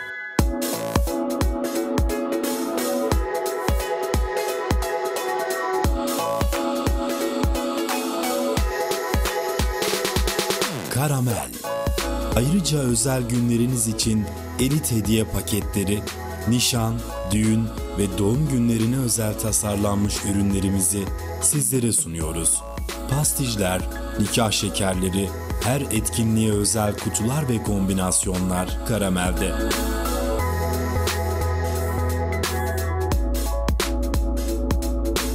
Ve dünyaca ünlü organik Belçika çikolatası Nutri şimdi karamelde.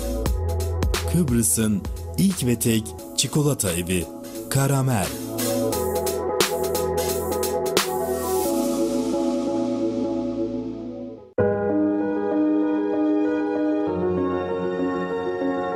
Doğanın yeşilliğiyle iç içe yaşarmışçasına Huzuru hissetmek için zaman ayırmak isteyeceğiniz, şehrin tüm stresinden arınmış dairelerimiz yeni kentin en güzel sokaklarında sizleri bekliyor.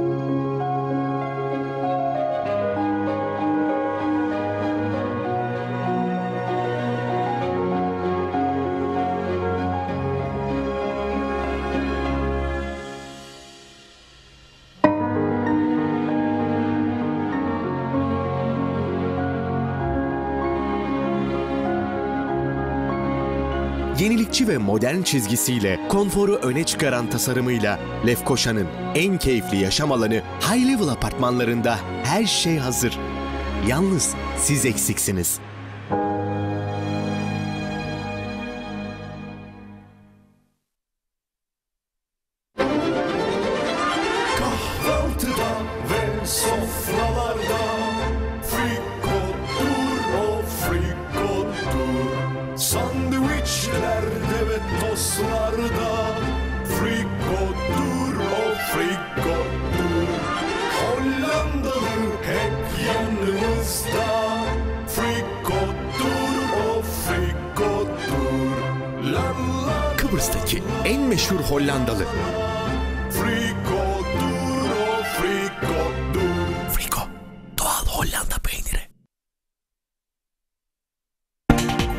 Hızla gelişmekte olan en son teknolojiye hakim olmuş boya üreticisi Kaleboya, jeopolitik konumunun ayrıcalığı sayesinde uluslararası tüm ambargolara rağmen kalitesini ve gelişimini sürdürmeye devam ediyor.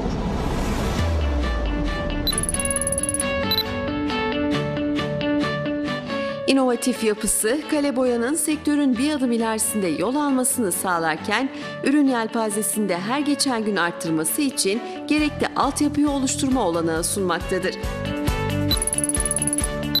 Kıbrıs şartları göz önüne alındığında bugün sahip olduğu ürün portföyüyle Avrupa'nın saygın üreticileri arasındaki yerini almıştır. Boya grubundaki markamız Kale Boya ürünlerinin en büyük farkı yıllara meydan okuyan kalitesi, nem, rutubet ve UV ışınlarına karşı dayanım kalitesiyle rakiplerini açık ara geride bırakmasıdır. Mükemmel örtücülük değerleri ve leke tutmayan yapısı sayesinde yoğun kullanılan tüm yaşam alanlarında Kuzey Kıbrıs'ın en çok tercih edilen boyasıdır.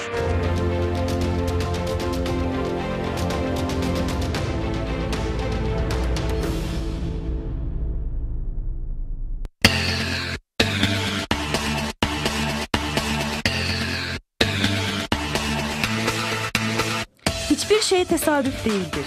Tasarımın ve zarafetin konfor ile buluştuğu birbirinden şık mobilyalar, mutfak tasarımları, modern kapılar, kısaca ahşabın olduğu her yerde yorucu mobilyanın dokunuşuna yer verebilirsiniz.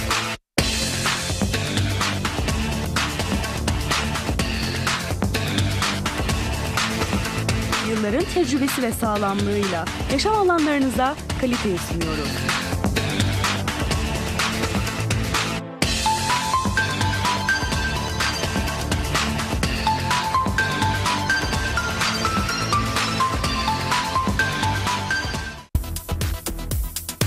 Özsoy Kot Merkezi 1990 yılından beri hizmet veren Özsoy Kot Merkezi yeni yerinde sizlere hizmet vermeye devam ediyor. %100 yerli üretim kot pantolonlar, kadife pantolonlar, işçi üniformaları ve kıyafetleri, kamuflaj pantolonlar, işçi montları ve kot montlar, baskılı ve baskısız tişörtler, işçi önlükleri ve özel ürünlerle kot yıkama. Özsoy Kot Merkezi Esnaf Sanayi Sitesi Lefkoşa'da. Yerli üretime destek verin. Özsoy Kot Merkezi.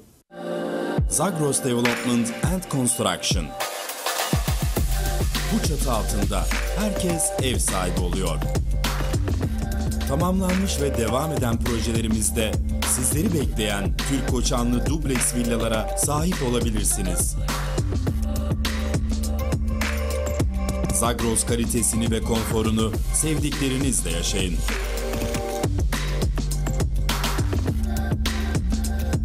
Değerinde fiyatlandırma ve uygun ödeme koşulları Zagros Construction'da. Detaylı bilgi için bizi arayın. 0533 836 11 çift 0. Aşk iki kişiliktir. Sen ve ben değil, biz olabilmektir. Sena Diamond aşkınızı tasarlıyor. Siz hayal edin, biz gerçekleştirelim. Aşk bizde mi?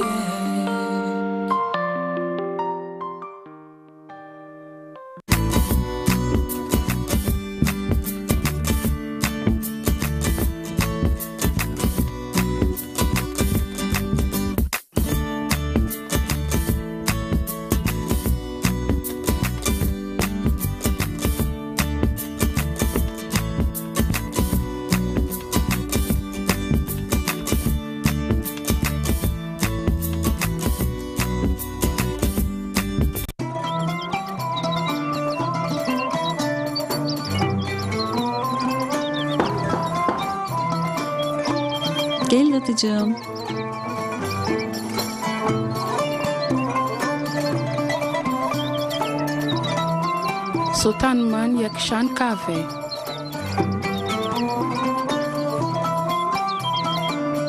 Bir kahve çekirdeğinden eşsiz bir lezzete giden yolculuğun adı Sultan Kahve.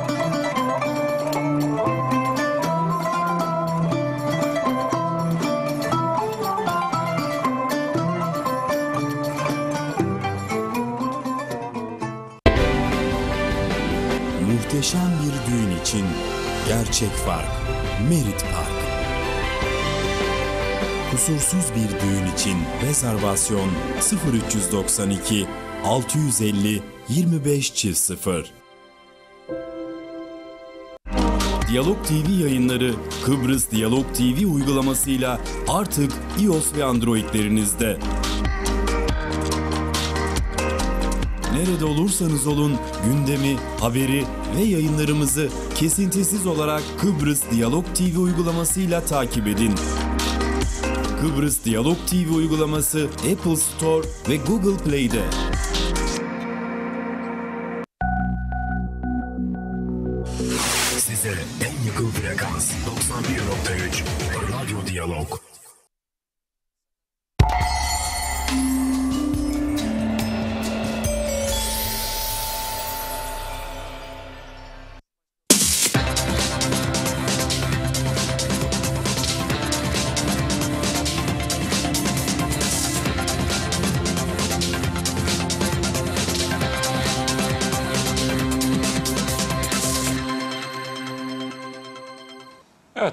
Sonrasında birlikteyiz. Gecenin e, dördüncü karşılaşması, Mausat beşinci karşılaşması. Mausat Türk Gücü Yeni Cami maçı 2-0'lık Yeni Cami üstünlüğünde giden bir karşılaşmaydı son bölümde.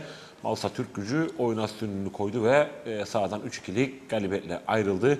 Bakalım Can Bulat Stadı'nda oynanan karşılaşma nasıl olmuş? Sonrasında ise Hasan Ecer'in yorumlarıyla Mausat Türk Gücü Yeni Cami maçını masaya yatıracağız. Bakalım 5 golün çıktığı Mausat Türk Gücü Yeni Cami maçında neler olmuş? Hep birlikte izliyoruz.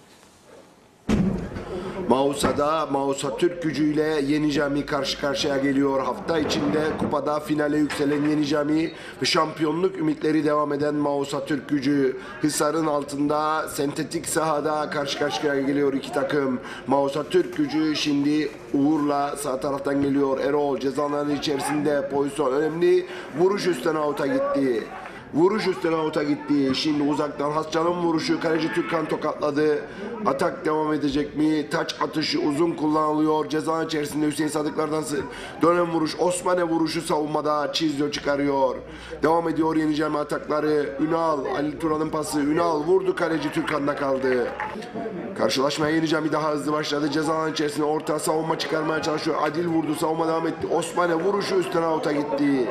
Önemli bir pozisyondu. Yine Yeni Cami hata. Sol taraftan Halil Turan ceza içerisinde orta. Osmane Nurettin çıkarmaya çalışıyor. Hüseyin Sadıklar sağ tarafa döndü. Ünal'ın vuruşu savunma atak. Halil Turan ve top filelerde. Savunmanın çıkaramadığı topu golcü ağlara göndermede zorlanmadı. İzliyorsunuz Osman'e, Nurettin, Hüseyin Sadıklar dönüyor sağ tarafa. Ünal vurdu savunmadan sekti. Halil Turan geldi ve topu fileye gönderdi. Dakika 24. Gol kralında lider Halil Turan yine sahneye çıktı ve skor 1-0. Yine Yeni Cami hata taraftan Hüseyin Sadıklarla geliyor Yeni Cami. Hüseyin cezana girdi, kesti dışarı topu. Kaleciden döndü. Halil Turan sahnede 2-0. Dakika 27. Halil Turan sahnede 2-0. İzliyorsunuz gol sevincini golcü oyuncunun. Hüseyin Sadıklar getiriyor pozisyonu hazırlıyor. Türkan'dan sekti. Halil Turan sektirmedi. Dakika 27. Mausa Türk gücünde şok. Yeni Cami'de moraller yerinde. 2-0 üstünlüğü var. Yeni Cami'nin bu pozisyonda sarı kart görüyor Ünal Yeni Cami'de. Mehmet Sezener sarı kartını başarılı oyuncuya gösteriyor. Şampiyonluk yarışında ümitlerini devam ettirmek isteyen Mausa Türk gücü mutlak galip gelmek zorunda. Uğur, Uğur'un vuruşu kaleci Yusuf'ta kaldı. Yine Mausa Türk gücü hata Hüseyin Kayalılar cezanı doldurduğu top Kabore vuruşu Yusuf'tan döndü. Devam ediyor atak. Vuruş kötü dışarı gidiyor. Sami'nin vuruşu kötü dışarı gidiyor. Hüseyin Kayalılar ve karşılaşmanın ilk devresi 1-1 sona eriyor. Çalan düdükle Mausa Türk gücü 2-0 yenik kapatıyor ilk devreyi. İkinci devreye başlayan taraf Sarı Yeşilli ekip. Yine Yenicami etkili ikinci devrede. Hascan kaleciyi de geçti. Savunma araya girdi ve topu dışarı gönderdi. Önemli bir gol pozisyonuydu. Hüseyin Kayalılar Uğur'a aldı at dedi ama Uğur bu pozisyonda kötü bir vuruş. Sol tarafta Musa ile geliyor Yenicami. Musa savunmadan sıyrılıyor. Vuruşu kötü. Cılız Türkan'dan sekti savunma araya girdi. Yine Yeni Cemaat'a Halil Turan Osman'e vuruşu savunma Erol girdi Hüseyin Sadıklar'dan önce araya. Net pozisyonlar iki takım adına da kaçıyor. Emre'nin vuruşu direkten üst direkten alta vurdu. Mükemmel bir şuttu ama çıktı gol olmadı. Ceza alanı içerisinde faul var. Yerde kalan oyuncu var. Mehmet Sezener sağlık görevlilerini çağırıyor. Mausa Türk gücü ikinci devrede bu dakikalarda daha etkili gol arıyor. Ceza alanına doldurulan top savunmadan sevkiyor. Ceza alanı içerisinde Uğur çıkardı. Orta alanda Musa aldı. Musa kontra atakla yakaladı. Musa ceza alanına girmeden orta alanda sert bir hareket Mehmet Gürlü'den Musa'ya. Daha sonra Ünal'dan sert bir hareket Mehmet Gürlü'ye. Mehmet Sezener pozisyona yakın. Musa'nın pozisyonunda faul yok dedi. Ünal'ın pozisyonunda faul var dedi. Ve Ünal'a ikinci sarıdan kırmızı kartı çıkarıyor. Yeni Cami 65. dakikada 10 kişi. Yeni Cami 65. dakikada 10 kişi. Yeni Cami 10 kişi olmasına rağmen kontra ataklarda tehlikeli oluyor. Osman'e ceza içerisinde vuruş Türkan Çeldi. Şimdi Mausa hata Emre ceza içerisinde vuruş Yusuf Çeldi atak devam ediyor. Savunma uzaklaştırdı. Yeneceğim 10 kişi oynuyor. İşte kontra ataklardan biri daha. Hüseyin Sadıklar ceza girmeden dönüyor dışarı. Halil Turan, Halil Turan karşısında Mustafa vuruş çeliyor Türkan. Hüseyin Sadıklar'ın önüne düştü. Kale boş vuruşu kötü. Dışarı gidiyor atak devam etti. Halil Turan geldi vurdu savunmadan döndü. Oldukça zevkli heyecanlı bir karşılaşma. Şimdi Mausa Türk gücü Sami ile sağ tarafa yapılan orta. Emre ceza içerisinde yerde kaldı Mehmet Sezener penaltı noktasını gösterdi. Mahmut'un hareketine penaltı gösteriyor ve sarı kartını da çıkarıyor. Hüseyin Kayalılar topun başında. Hüseyin Kayalılar topun başında geliyor vuruşu ve top filelerde. Dakika 85. Hüseyin Kayalılar'ın golüyle 2-1 oluyor maç. 10 kişi oynuyor Yeni Cami. Mausa Türk gücü bu golle ümitleniyor ve yüklendikçe yükleniyor. Ceza açı yapılan orta. Kabore indirdi. Sol tarafta Sami. Mehmet Çil'e verdi. Mehmet Çil döndü. Plase vuruşu ve top filelerde. Mehmet Çil klasında bir gol. Dönüyor. Plaseyi vuruyor. Köşeden direğe vurup ağlara gidiyor. Dakika 87. Mehmet Çil ve skor 2-2. Mausa Türk gücü durmuyor. Uğur sol taraftan orta ceza içerisinde atak devam ediyor. Sami vuruşu ceza içerisinde bir yeni cami futbolcuları çıkarıyor ve topu kornere gönderiyor. Yine Mausa Türk gücü hata. Nurettin sol tarafa döndü. Uğur. Uğur ortayı yaptı. Ceza içerisinde kafa vuruşu Nurettin önüne düştü. Nurettin sert vuruşla top filelerde. 90 artı 3 Mausa Türk gücü biz bitti demeden bitmedi diyor ve dakika 90 artı 3 Mausa Türk gücü Ali Oraloğlu ile büyük bir sevinç yaşıyor. 3-2 önde Mausa Türk gücü 2-0 önde mağlupken 3-2 önde Yeni Cami beraberliği arıyor ama karşılaşma Mausa Türk gücü 3 Yeni Cami 2 olarak bitiyor.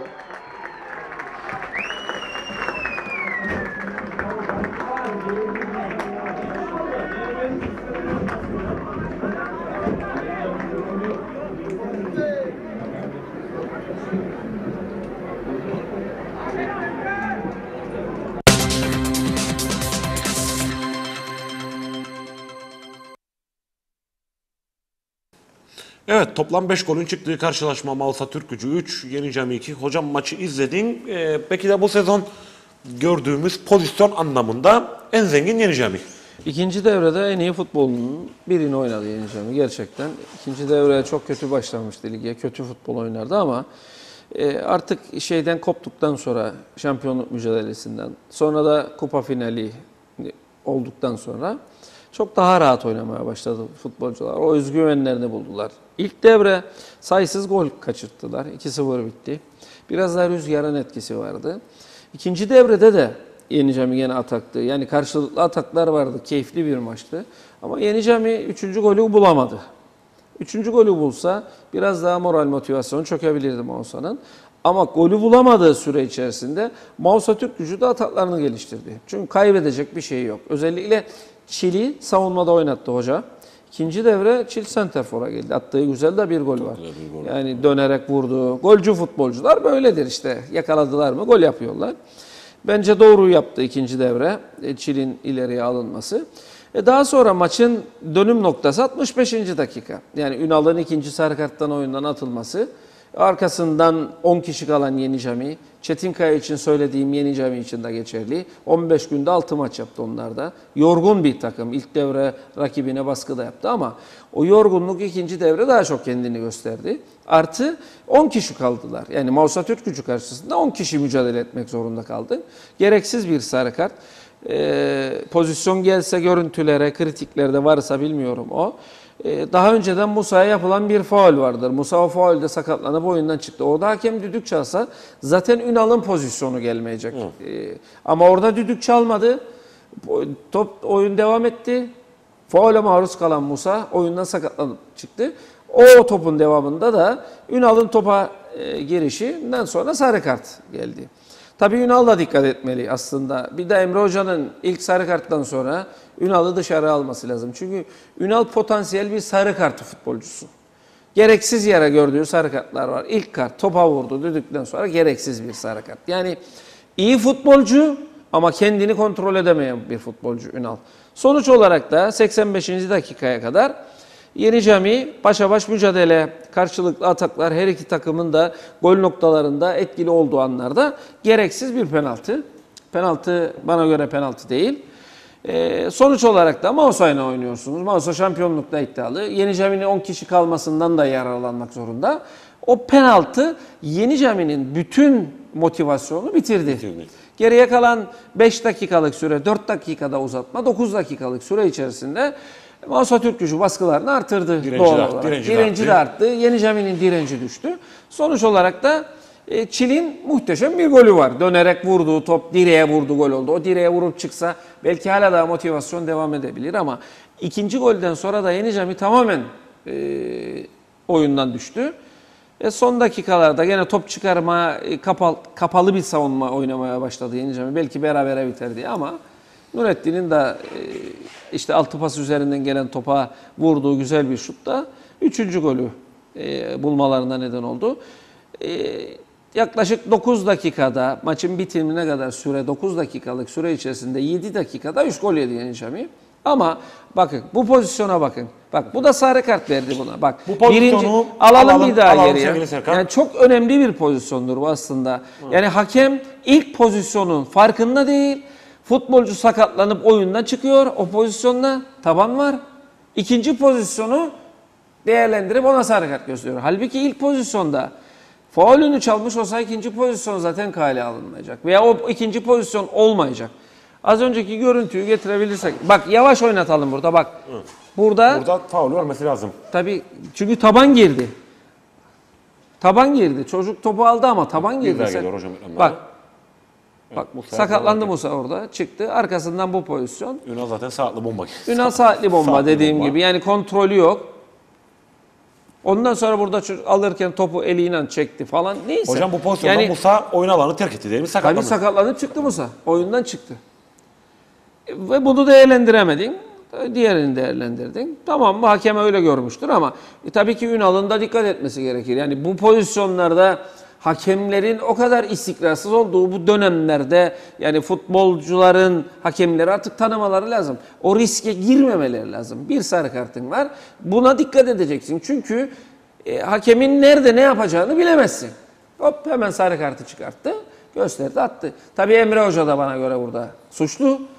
Sarı kartı olan Ünal'ı potansiyel bir tehlike, ikinci sarı kartı yemeye müsait bir futbolcuyu oyunda. Alacak. Bak geçen hafta ne yaptı? Sarı kartı da aldı kendisini dışarı.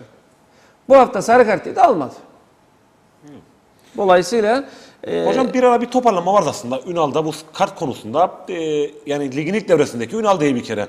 Hatta yarışıyorlardı e, sarı kart konusunda, kart konusunda yarışıyorlardı ama e, bu süreç, bu dönem yine bir başlangıç var Ünal'da. Tabii ki e, en, en erken sürede vazgeçmesi. Çünkü bir kupa maçı da var. E, konsantre olması lazım, dikkatli olması lazım. Mutlaka. Tabii ben bu Mehmet Gürlü var. Bu faul pozisyonunda bak bu faulü yapan çocuk. Sonra bu topta faule maruz kalan çocuk. Gerçekten Son dönemde çok iyi bir bu futbolcu ben e, haftanın e, bu maçın yıldızı olarak seçtim kendisini zaten Yeni Düzen gazetesinde.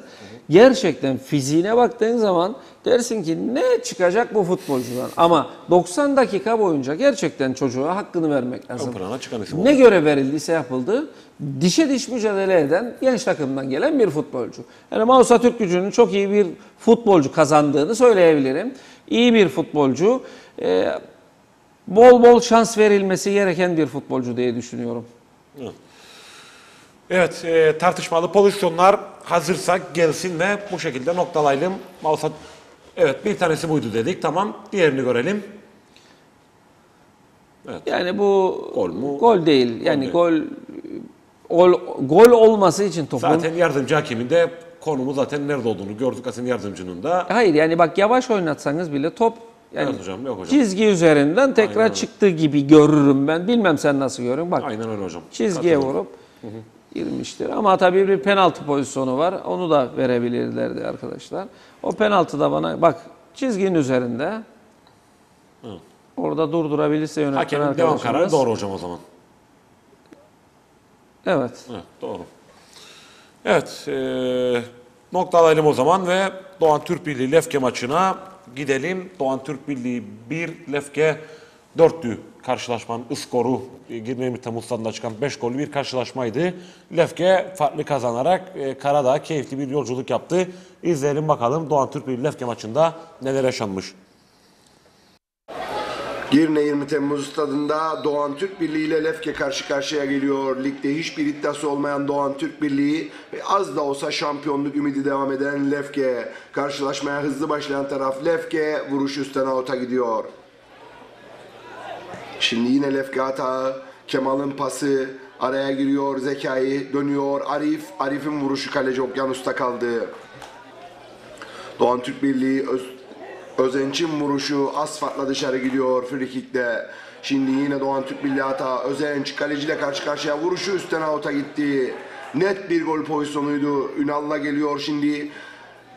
Semih Ünal'ın pası ceza alanı içerisinde kafa vuruşu Smart'tan ama kalkan offside bayrağı var. Hakan Muhtaroğlu yan hakemine uyuyor bu pozisyonda. Arif, Arif'in ortası ceza alanı içerisinde Zekai'nin kafa vuruşu yandan avuta gitti. Doğan Türk Birliği bu kez atak geliştiren taraf Emin ceza içinde Arif'in ters vuruşu Mehmet son anda çıkarıyor. Mehmet son anda çıkarıyor. Adeta çizgi üstünde topu önlüyor. Burak'ın vuruşu asfaltla dışarı gitti. Karşılıklı atakları var ilk devrede. Salih ile geliyor Doğan Türk Birliği. Sağ tarafa döndü. Sağ tarafta Selim. Selim'in ortası kaleci Mehmet'te kaldı. İki takım da açık futbolu tercih ediyor. Özenç'in doldurduğu top. Kaleci Mehmet tokatlıyor. Arif. Arif uzaklaştırmaya çalışıyor. Atak devam ediyor. Salih'in önüne düştü. Salih araya girdi. Lefke oyuncuları ve çıkarıyor. Alen'le çıktı. İlk devre 0-0 sona eriyor. Girne 20 Temmuz. Her iki takımından net gol pozisyonları var. Ancak sonuç yok. İkinci devreye Doğan Türk Birliği'nin başlama vuruşuyla başlıyor. Sağ taraftan Doğan Türk Birliği hata. Emin doldurulan top cezanın içerisinde Özenç.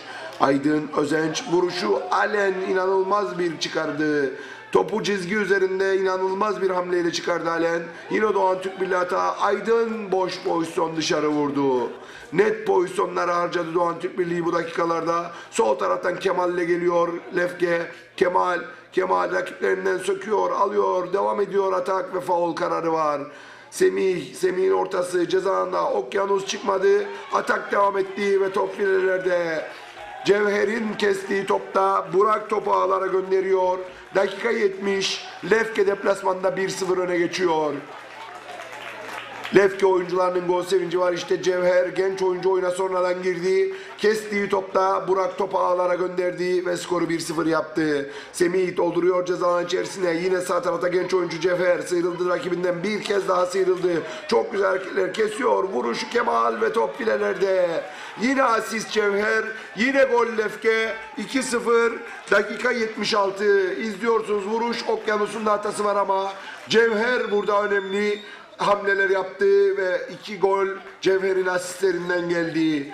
Sağ tarafta Semih dönüyor yine Cevher'e. Cevher Arapası aldı topu Semih. Semih söktü. Rakiplerinden sıyrıldı. Semih ceza alanına girdi. Semih dışarı kesti. Burak kaleciyle karşı karşıya. Vuruşu ve top filelerde. Burak dakika 83 3-0. 70'ten sonra Lefke coşuyor ama oyuna giren genç oyuncu Cevher'in de hakkını vermek lazım. Cevher girdi, Lefke coştu. Burak'ın ikinci golü 3-0 yine Lefke geliyor. Akın akın geliyor bu dakikalarda. Cevher güzel bir asist Burak. Sağ tarafta Burak. Burak ceza içerisini dolduruyor. Kafa vuruşu Zekai ve top filelerde. Dakika 85 4-0. Yine asistin başlangıcı Cevher. Daha sonra iki gol yapan Burak ve golün ismi Zekai. Lefke dörtlüyor Girne'de. Doğan karşısında 4-0 önde. Zekai yine klasik kafa gollerinden birini atıyor. 4-0 Lefke üstünlüğü var Doğan karşısında 70. dakikadan sonra Doğan Türk Birliği 4-0'dan sonra gol arıyor. Ahmet Saygı sağ tarafa verdiği Aydın. Aydın Aydın rakiplerinden sıyrılıyor. Aydın'ın vuruşu ve köşeden filelere gittiği güzel bir gol Aydın'dan. Dakika 89 skor 4-1 oldu. İzliyorsunuz vuruş köşeye 90'a takıldı. Mehmet'in de yapacak bir şey yok bu pozisyonda.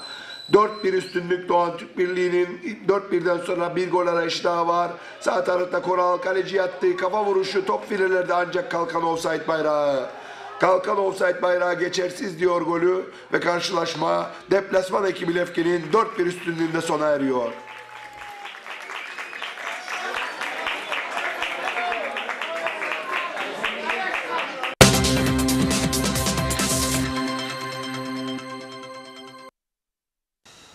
Evet, e, 4 birlik Lefke galibiyeti. Lefke e, 70. dakikadan sonra e, kımıldayım dedi ama e, 4 golle de döndüler. Hocam e, şans vermek değil Lefke'ye şampiyonluk yolunda. Ya önünde 4 tane takım var. 39 puan, 45 puan. 6 puanlık fark var şu anda Çetinkaya ile. 3 hafta onlar kaybedecek. Bu da kendi başlarına zaten. Ya, ama yalnız Çetinkaya 3 hafta kaybedecek. 3 hafta e, Binatlı kaybedecek. Üç 2 hafta. hafta. da şey kaybedecek. Gençler Gençler Birliği. E, Mausa? Mausa da kaybedecek. Yani çok zor. Lefke Mor Menekşe maçında Havlu yattı. Havlu yattı bana göre. Ama e, renk katar mı lige? Katar. Kupadan da elendi. Motivasyonları da kalmadı. Bu hafta kilit nokta. Bu hafta yani Lefke şunu söylüyor kendine. Şampiyon olacak takımın vizesi bizden geçer. Diyebilir. Doğaldır. Diyebilir. Çünkü gerçekten çıkıp futbollarını oynuyor. Ha, Doğan maçında ikinci devrede işi bitirdi. Neden? Çünkü Doğan artık ligin bitmesini ve denize gitmeyi bekler. Doğan'ın hiçbir iddiası kalmadı. O çocukları nasıl motive edeceksiniz antrenmana? İşte geliniz antrenmanlara çift kare yapalım bitsin. Yani kondisyon bakımından da Doğan'da düşüş var. Bitti. Motivasyon yok. Ne olacak yani şu andan itibaren Doğan galip gelse ne olacak? Dolayısıyla zamanın geçmesini, bu üç haftanın bitmesini ve artık deniz mevsimini aşmayı bekliyor Doğan. Girne'de, e, gençler orada Girne'de daha rahat hareket ederler. E, sonuç olarak futbol onlar için bitmiştir bu sene. Fakat çıkıp oyna, oynuyorlar ama ikinci devrede işte takımda müthiş bir düşüş var. Ve Lefke'de ikinci devrede bulduğu gollerle Doğan'ı yendi. Var mı tartışmalı? Yok. Evet, e, Cihangir Mor Menekşe maçıyla devam edelim. E, Mor Menekşe Cihangir'le devam edelim. Cemal Balses stadında oynanan karşılaşmaydı. Mor kazanmak istiyordu kendi sahasında Cihangir. Son haftaların e, flash takımı devrimin son dakikada kurtardığı penaltı maçın belki de e, kader anıydı. Tek golle hanesine altın değerinde 3 puanı yazan yazdıran Mor kritik haftada kritik 3 puanı alan taraf oldu. Bakalım Cemal stadında nasıl olmuş karşılaşma hep birlikte izliyoruz. Mor Menekşe'de Mor Menekşe Cihangir'i konuk ediyor. Ligin dibinde yer alan Mor Menekşe için kader maçlarından bir tanesi. Cihangir ise son haftalarda aldığı galibiyetlerle ligde kalmayı garantiledi ve rahatladı. Mete ile sol tarafa dönüyor Mikail. Mikail ile atak gelişiyor Cihangir'de ceza alana doldurulan top. Sağ tarafta Ümit Endirdi. Ertan vurdu kaleci devrimde kaldı. Şimdi sağ taraftan Mor Menekşe atak geliştirmeye çalışıyor. Cemil ceza girmek üzereyken savunma çıkardı. Atak devam ediyor. Can Cemil'i gördü. Cemil uzaktan sert vuruşu yandan avuta gitti. Uzaktan vuruşu avuta gitti. Yine Cemil ile gelişiyor. Mor Menekşe atağı. Sağ taraftan Cemil aldı topu dönüyor. Ceza pozisyon arıyor Cemil. Rakiplerinden sıyrılmaya çalışıyor. Cemil pasını verdi ceza içerisinde. Baga Cemil. Cemil'in vuruşu ve top filelerde. Dakika 19. Cemil durdu durdu pozisyon aradı. Baga'yı gördü. Baga kesti. Cemil geldi köşeye 90'a taktı ve 1-0 yaptı. Kaptan gemiyi taşımaya devam ediyor. 1-0 önde. Ceza içerisinde Vuruş e, Patrick'ten savunma elle çıkardığı itirazları var Cihangir futbolcularının. Devam diyor Kerem Erhan. Ceza alanı içerisi mutlak bir gol pozisyonu. Endiriyor Cemil ama dışarı atıyor Mor Menekşe forvet elemanları. Sağ taraftan Hasan Yaşın sesle geliyor Cihangir. Ceza alanı içerisinde orta. Patrick'in kafa vuruşu atak devam ediyor. Ümit devrim ve top dışarı gidiyor. Yine Mor Menekşe Ali Bayır'la sağ taraftan çıkmaya çalışıyor. Dönen top Cemil'e. Cemil endiriyor. Ceza içerisinde Özgür. Özgür'de kaldı top. 19. dakikada Cemil'in golüyle ilk devre 1-0 sona erdi diyor Kerem Erhan. İkinci devreye Mor Menekşe başlıyor. Mor Menekşe için çok önemli bir karşılaşma. Sağ tarafta Baga ceza içerisine doldurulan top. Araya Cemil giriyor. Kaleciden önce topu aldı ama açılan top dışarı gidiyor. Cihangir atağı ceza içerisinde Ümit kafa vuruyor ama elle çarptığı iddiaları var. İtirazlar var. Penaltı bekliyor Cihangir oyuncular. Devam diyor Kerem Erhan. Sol tarafta Cemil. Hasan Yaş istesinden sıyrılmaya çalışıyor. Ceza kesti. Kaleci Özgür dönüyor. Ali Bayır ceza üzerinde savunmaya devam etti. Atak Can Baga'ya verdi. Baga. Baga vuruşu kötü üstten dışarı gidiyor. Hasan Yaşın ses cezanına doldurdu. Patlik aldı döndü. Dönerek vuruşu dışarı. Net bir gol pozisyonu Cihangir adına dönerek vuruşu dışarı. Yine Cihangir hata. Yanik uzaktan sert vuruş o da direği sıyırıyor. Uzaktan golleriyle son haftalarda forumda olan Yanik vuruşu dışarı gitti. Cemil cezana girerken Burak Cemil. Cemil yerde kaldı. Devam diyor Kerem Aran pozisyona. Yine Cemil'le sol taraftan geliyor Mor Menekşe. Sıyrıldı rakibinden Cemil. Kaleciyle karşı karşıya topu dışarı gönderdi. Net bir pozisyondu Mor Menekşe adına. Şimdi Fırat ceza alanı içerisinde dolduruyor. Savunma elle çarpan iddiaları ve Kerem Enan penaltı noktasını gösteriyor. Dakika 88 topun arkasında Ertan geliyor vuruşu devrim çıkarıyor. Mükemmel bir kurtarış. Belki de kader kurtarışı. Belki de Mor Menekşe'nin ligde kalma kurtarışı. Tüm futbolcular bu golün mutluluğunu yaşıyor. Ertan üzüntülü. Dakika 88 kaçan penaltı ve Mor Menekşe 1-0 galip geliyor. Çok önemli 3 puana imza atıyor.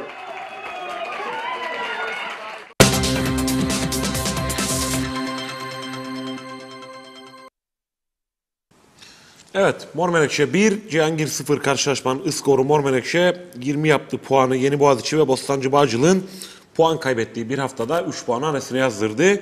Ee, sonuna kadar da herhalde direnecek olan bir Mor Menekşe var hocam. Şimdi Cihangir rahat bir futbol oynadı. Çünkü geçen hafta artık rahatlamış bir pozisyonda. O 28 puan yaptı. Küme düşme derdi, endişesi yok. İhtiyacı olan takım Mor Menekşe. Ee, biraz rolanti futbol gördüm e, Cihangir'de. E, son dakika penaltıyı kurtarmalar önemli. E, Cihangir e, Mor Menekşe için. Çünkü 1 puan almak var bir de 3 puan almak var. 1 puan almış olsaydı bugün 16 puan, Bağcıl'da 10, 15 puandaydı. Dolayısıyla pardon 1 puan almış olsaydı 20 puanı vardır. 18 puanda kalacaktı. Yeni Boğaziçi'de 18 puanda. E bu hafta Bağcıl'la maçı var. Mor Menekşe'nin. Mor Menekşe'nin. Eğer Mor Menekşe ligde kalmak istiyorsa işte kendisine fırsat. Yeni Boğaziçi ve Bağcıl'la arka arkaya iki tane maçı var. Bir tanesi deplasmanda, bir tanesi evinde. Kendi kaderini kendi tayin etme hakkı vardır takımın. Yani bir başka kendi galip gelecek de bir başkasının galip gelmesini bekleyecek gibi bir durum söz konusu değil şu anda. Kazanması halinde Hali iki maçı aldığı halde Ligde e, kalır hocam. ligde kalır. Dolayısıyla e, Mor Menekşe kendi kaderini kendi tayin edeceği iki tane maça çıkacak. Önemli maçlar. Biri Bağcıl. Bağcıl bu hafta e, deplasmanına gidecek. 15 puanı var. Yeni Boğaziçi ile bir hafta sonra oynuyor. içeride. İçeride kendi evinde. Yeni Boğaziçi'nin de bu hafta Binatlı'yla maçı var kendi evinde. Dolayısıyla Yeni Boğaziçi'nin de Binatlı karşısında puan alması e, Final niteliği bir maç yapar iki hafta Tabii sonra. yani çok önemli karşılaşmalar var altta da. Mor Menekşe'nin 3 maçı vardır. 2 tanesi Bağcıl, Yeni Boğaziçi rakipleri. Bostancı'nın bu hafta e, Bostancı Bağcıl dediğim gibi Mor Menekşe oynuyor kendi evinde. Yeni Boğaziçi Binatlı ile oynuyor. Değirmenlik 24 puanda ama bana göre 24 puan da rahat değil. Çünkü 18'li 20'li puanlar var.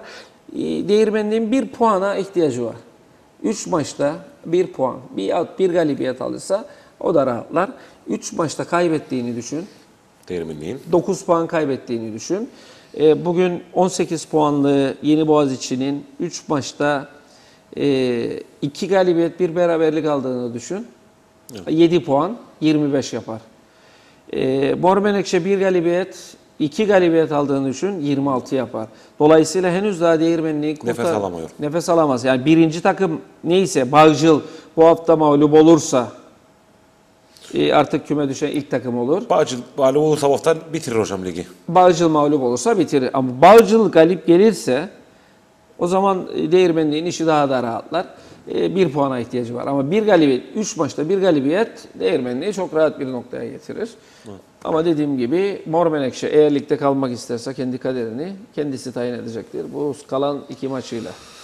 Evet. Gecenin son karşılaşması Değirmenlik Yeni Boğaziçi maçı. Var mı tartışmalı? Var. Alalım tartışmalıyı. Evet hocam tartışmalı. E tabi bu Çeken penaltı, arkadaşı- bu çeken arkadaşlar Çeken arkadaşın da emeğine sağlık. bunu tartışmalı olarak nasıl koydular onu da merak ederim. Ben neyini Ben görmem, tartışalım ben de bunu? görmem hocam. Havada giden topun tartışması mı olur? Serkan arkaya ver bir görüntüyü. Belki evet hocam böyle dönelim hocam. Belki daha iyi görür buradan. Bir daha çıkar. Vallahi gene görünmez hocam. E, görünmez tabii Görünmez. yani. Yani. Kimin eline vurdu? Ama bak hiç şikayet yok şeyde büyük şikayetler yok farkındadır. Esas penaltı yapan futbolcuya baktığımda boynu yere dök, düşer bak. Düdük çaldı orada dondu kaldı çocuk. Hayır Cihangir futbolcularından da itiraz yok hocam. Evet. Yok. Yani bu tartışmalı pozisyon değil penaltı. Penaltı. Oval olarak. Evet bu şekilde noktaladık bunu da ve geçelim Değirmenlik Yeni Boğaziçi maçına 3-0'lık Değirmenlik galibiyetiyle tamamlanan karşılaşmaydı. Hasan Hoca e, nefes almadı dedi Değirmenlik ama önemli bir galibiyeti eline geçirdi. Bakalım Sadık Cemil Stadında galibiyet nasıl olmuş hep birlikte izliyoruz. Değirmenlik Sadık Cemil Stadında Değirmenlik Yeni Boğaziçi'ni konuk ediyor. Ligin altında kader maçı her iki takım da ligde kalma savaşı veriyor. Galip gelenin çok büyük bir avantaj, mağlup olan ise çok büyük bir dezavantaj yakalayacağı son 3 haftaya gireceği maçlar. Değirmenlik maçı hızlı başladı. Kesilen top vuruş asfaltla dışarı gitti. Değirmenlik Hızlı başlangıcının sonucunda pozisyonlar buluyor. Victor uzaktan vuruş Ersoy'un kontrolünde dışarı gidiyor. Yine sol taraftan Amani ile ceza alanına girdi. Kesilen top savunma araya girdi ve topu dışarı gönderdi. Değirmenlik gol arıyor bu dakikalarda. Sağ taraftan geliyor şimdi. Yapılan orta ceza içerisinde Amani boşa çıktı. Arkadan geldi. Vuruş savunmaya çarptı ve dışarı gitti. Şimdi yeni Boğaziçi hata var. Uzaktan Diallo'nun sert frikik vuruşu üst direkten geri geldi. Mükemmel bir vuruş. Ancak üst direkten geri geldi. Ceza içerisinde kafa vuruşu üstten avuta gitti. Yeni Boğaziçi bu dakikalarda daha etkili. Blessing savunmadan sıyrılmaya çalışıyor. Vuruşu savunmadan döndü. Blessing söktü aldı devam ediyor. Ama çalınan faul kararı var. Bu pozisyona itiraz var Blessing'in. İlk devre 0-0 sona eriyor. Değirmenlik'te her iki takım da ilk devreyi 0-0 tamamlıyor. Bu arada Yeni Boğaz içinde kaleci Ersoy 40. dakikada sakatlandığı için oyun alanı dışına çıkıyor ve yerine kaleye Fatih geçiyor. Şimdi Değirmenlik sol taraftan atak geliştiriyor. Hareket sert. Hüseyin Genel sarı kart görüyor Fehim tarafından. Uğur Balkan faula maruz kalan futbolcu. Ceza alanı içerisine doldurulan top, savunmadan seken top, ceza içerisinde Amani Victor, Victor topu ağlara gönderiyor. Amani istediği rovaşatayı yapamadı ama o top pas oldu ve Victor sahneye çıktı. Dakika 53 izliyorsunuz. Güzel plase bir vuruşla köşeye topu gönderdi ve 1-0 öne geçti. Değirmenlik Yeni Boğaziçi karşısında doldurulan top ceza içerisinde Kaan vuruşu dışarı gitti. Vuruşu dışarı gitti. Şimdi Diallo uzaktan sert vuruş. Savunma arada Blessing girdi ama top dışarıda. Yeni Boğaziçi beraberlik arıyor. Ceza doldurulan top. Kafa vuruşu savunma. Blessing kaleci Onurhan alıyor topu. Faul da var bu pozisyonda. Şimdi sol taraftan yine değirmenlik hata. Amani savunma kaleci birlikte çıkarıyorlar topu. Yeni Boğaziçi orta alandan çıkmaya çalışıyor. Hatalı bir pas. Amani aldı. Viktor'a döndü. Viktor uzaktan sert vuruş köşeden ağlara gidiyor. Her zaman yaptığı gibi füzeyi yolluyor. O füzede adrese teslim. Ağları buluyor. İşte izliyorsunuz. Sağ ayak, sert şut köşeden filelerde. Dakika 70. Değirmenlik artık çok rahat.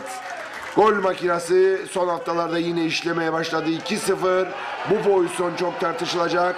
Emre Çelik Dal'ın kalkan bayrağı offside yönünde ama Değirmenlik futbolcuları yine aynı kanada değil. Şimdi Aman ile geliyor Değirmenlik. Ceza alanına girerken faul var Yeni Boğaziçi oyuncularının. Victor, Victor yaptı vuruşu kaleciden döndü. Atak devam ediyor. Alıyor genç Ali topu ağlara gönderiyor ama pozisyonda faul olduğunu söylüyor. Fehim dayı kalecinin eline temas olduğunu belirtiyor. Değirmenlik futbolcuları golde faul olmadığı yönünde itirazlar var. İzliyorsunuz kaçırıyor elinden. Genç Ali alıyor topu. Boş kaleye topu gönderiyor. Temas var mı yok mu? O da artık yorumculara kalmış bir şey. 2-0 üstünlüğü devam ediyor Değirmenliğin. Ama gollerden sonra pozisyonlarda Değirmenlik adına Amani'nin vuruşu kaleciden döndü. Savunma çıkarıyor. Yine Değirmenlik hata. Kesiyor topu Celal. Mükemmel bir pas Viktor'dan ve Celal topu köşeye gönderiyor 3-0. Dakika 90 artı 4.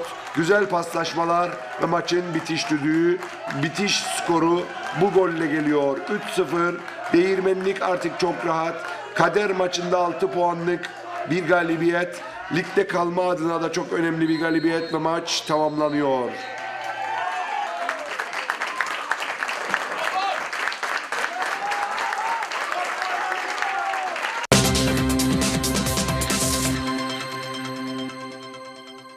Evet son görüntüydü. E, zaten e, az önce Değirmenlik ve Yeni Boğaziçi hakkındaki görüşlerini aktarmış hoca. Tartışmalı pozisyonlar var. İki tane sanıyorum.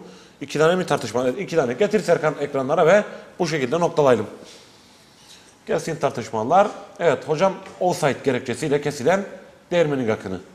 Evet yani bir daha gelsin görelim. Gelsin bir kez Bak, ekranlara. Yani fut, bak futbolcunun isyanı haklı.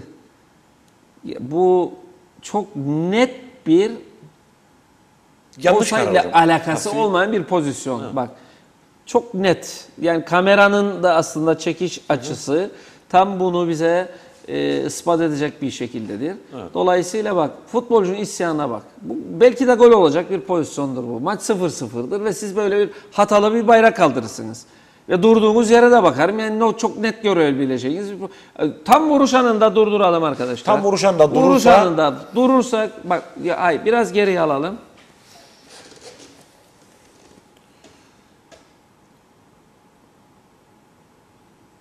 Mehmet Tarım yanılmasın. Bak, Evet. bak.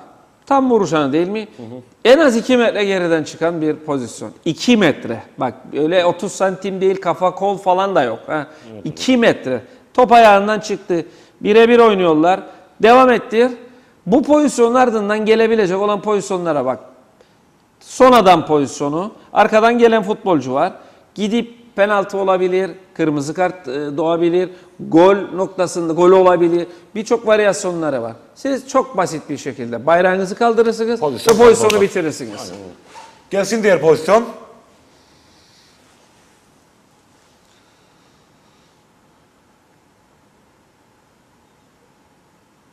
Ha, bu da faulle, faulle alakası yok bunun da. Çok net Dikkat et göresin pozisyona. Bir daha gelsin. Kaleci topu elinden kaçırıyor. Ondan sonra gelip çocuk topu o elini uzatıyor. O da ayağını uzatıyor. Alıyor topu. Bak takip et. Yavaş oynat. Bak top kaçtı değil mi? Bak boşta çocuk geldi topu aldı. Top golünü attı. attı. Bu kadar basit. Çok rahat bir faul çaldılar buradan. Neymiş? Kaleciye temas, kalecinin eline vurdu. Halbuki hiç alakası yok. Kaleci tabii ki elini tutacak orada. Çünkü bir hata yaptı Olası kaleci. bir değirmenlik mağlubiyetinde Muharrem Hoca'yı tutabilen aşk olsun ya da e, değirmenlik başkanı Hayır yani bak bu, bu tür kararlar bana göre skorun rahatlığından verilmiş kararlardır. Yani skor rahatlığı hakemlerin bu tür kararlarda çok rahat düdük çalmasını sağlar. Rahat penaltı verebilir, rahat faul pozisyonu verebilir. Sonuç olarak da bunun gerçek olarak baktığında faulle bir alakası var mı? Yok. Bana göre uzaktan yakın çocuk geldi boşta olan topu aldı attı golünü. Hocam e, 55'e kadar yani yaklaşık bir 5-6 dakikalık sürem var. E, hakemlerin 23 haftalık performansı ve Hasan Topaloğlu'na verilen e, rekor cezayla noktalayalım sohbeti. Şimdi önce hakemlerden başlayayım istersen. Bu sene hakemlerin performansları çok düşük. Hemen hemen her hafta müthiş hatalardan dolayı mağdur olan birçok kulüp vardır. Hemen hemen her hafta şahsen beni arayan birçok kulüp başkanı, teknik adam, futbolcu kardeşlerim, bana Face'ten yazanlar. Tamam. Ve taraftarın birçok şikayetleri var. Her her hafta. Ben hakemleri kendi programlarında eleştiriyorum. Neden eleştiriyorum? Çünkü benim her zaman söylediğim bir söz var ve inanıyorum ben buna. Bir ülkede spor dalını ileriye götüren hakemlerdir. Hakemlerin adaletli davranışları, kuralları düzgün uygulamaları ve güzel maç yönetmeleri o spor dalına olan ilgiyi artırır. Bir kere sahaya çıktığı zaman taraftarından tutun da sahadaki malzemecisine kadar hakeme güven duymalıdır. Mutlak surette güven duymalıdır. Çalacağı düdüklere inanmalıdır. Bugün hemen hemen her hafta 2, 3, 4, 5 maçta belki de birçok hakem hataları olur. Şimdi diyeceksiniz ki hakemler hata yapmaz mı? Yapar elbette. Yani sana göre faul olan bir pozisyon bana göre olmayabilir diyebiliriz. E, yahut da sen offside'dır, yoktur. Offside ise offside'dır pozisyon ama gılla kaçmıştır gözünden. Tamam bunu da kabul ederim. Ama siz hakem olarak eğer bana şey yaparsanız e, kuralları uygulama konusunda noktasında yanlış kararlar verirseniz bu defa her takım mağduriyet yaşamaya başlar ve isyan eder. Dolayısıyla bu isyanları e, futbolcuların, antrenörlerin gayet doğaldır. Futbolumuz çok mu ileridedir?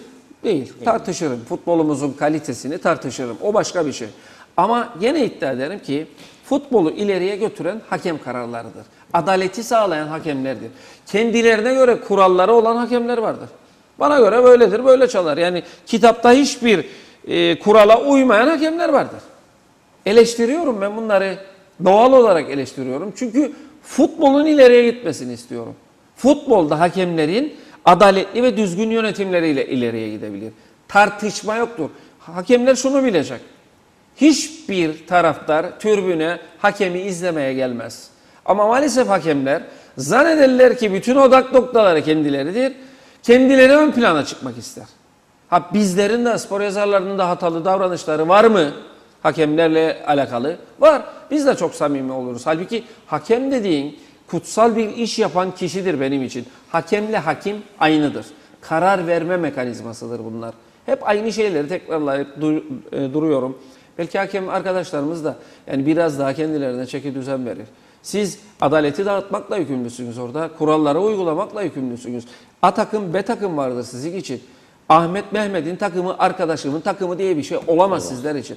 Dolayısıyla sahaya gelen insanlara iyi maç yönettirmek ve iyi maç izlettirmek zorundasınız siz. E, Birçok maçta hakemleri tartışır ve futbolun önüne geçiyorlar. İşte ben bu noktada hakemleri eleştiriyorum. Siz çekilin, olayların dışında kalın, gördüğünüzü çalın, herkes sizi takdir etsin. Ama maalesef bizim gördüğümüzü, türbünlerde görülen gördüklerini taraftarın, futbolcunun sahada gördüğü kuralı bilen futbolcular vardır. İsyanlara oynuyor ama hakemlerin hiçbir şeyden umurunda değil. Yani sinirleri alınmış olması lazım. İzleyenlerin de, teknik adamların da, futbolcuların da böyle maç yönetimliğini gördüğü sürece. Evet, hocam çok kısa olarak Hasan Topaloğlu'na verilen ceza. Hasan Topaloğlu'na verilen ceza, tabii Hasan'ın kendine göre savunmaları var. Ben darp etmedim diyor. Bilmiyorum ben orada değildim, görmedim. E, ceza kurulu bu noktada nasıl karar verdi? Mutlaka gözlemci raporları, hakem raporları, e, televizyon programları yani e, kayıtlar ve radyo programında Hasan'ın söylemleri vardı. Şimdi eğer bu söylemleri alt alta topladığınızda zaten maddeler halinde, halinde talimatnamada var. Bu şunu yaptın bu cezayı alırsın, şunu yaptın bunu alırsın. Hep toplandı bunlar ve 370 günlük bir ceza çıktı. Şimdi bu adaletli mi? Geçmiş zamana baktığımda adaletin kılıcı herkese aynı eşit kesilmelidir. Şimdi Hasan'ı buldunuz, Hasan'ın üzerinden bütün e, adaleti uygulamaya çalışırsanız bana göre yanlıştır. Hasan'a verilen ceza eğer talimatlamalara göre uygunsa herkesin boynunun kıldan ince olması lazım. Doğrudur denmesi lazım. Bir. İkincisi Hasan'a verilen bu cezanın aynısını eğer başkaları da yaparsa aynı şekilde onlara da verilmelidir. Üç. Maçlardan sonra futbolcuların veya teknik adamların veya başkanların ağzına mikrofon uzatmamalıyız. Hele hele olaylı maçlardan sonra. Bizler spor yazarları ve program yapan arkadaşlar olarak bu konulara çok dikkatli eğilmeliyiz. Çünkü sinir anında insanın gözünün döndüğü anda bazı insanlar gözü döndüğü zaman katil olur. Ondan sonra kendine geldiğinde yaptığının yanlış olduğunu da anlar ama o an iş işten geçer. Dolayısıyla bu kadar fevri, bu kadar sinirsel bir halde olan insanı siz de dürtüklerseniz o an gözü dönmüştür birçok şey söyleyebilir size. Dolayısıyla sakin halde baktığın zaman çünkü Hasan'ın ondan sonraki demecine baktığımda ilk Futbol Federasyonu'na istiyadı kesti. Hakemlere istiyadı kesti. Sonraki demecinde özür diler mahiyetindeydi. Neden? Çünkü Hasan kendine geldi. Ama iş Hasan işten geçti. kendine geldi. O zaman da iş işten geçti. Ama tahkime gitmişler. Bilmiyorum e, ceza kurulunun vereceği kararı tahkim nasıl e, değerlendirecek onu bilmiyorum. Ama bu ülkede eğer bu tür davranışlara cezalar verilecekse de herkese adaletli bir şekilde, eşit bir şekilde cezalar verilmelidir diye düşünüyorum. Evet. Hocam e, teşekkür ediyorum. E, bir kez daha e, birlikte olduk, kırmadın, katıldın. İlerleyen süreçte yeniden birlikte olmak dileğiyle. Ben teşekkür ederim. Sana da bundan sonraki programlarında her zamanki gibi başarılar diliyorum. Teşekkür ederim. Evet, e, 90 artıyı bu şekilde noktaladık. Hasan Ecerdi konuğumuz 23. haftayı bu şekilde değerlendirdik. Ayrılmayın. Az sonra 23 e, ana haber bülteninde sonuç çevirici sizlerle birlikte olacak değilim ve biz de artık e, önümüzdeki hafta birlikte olmak dileğiyle iyi bir pazartesi akşamıyla birlikte iyi bir haftanın sizler olmasını diliyorum. Şen ve sen kalın.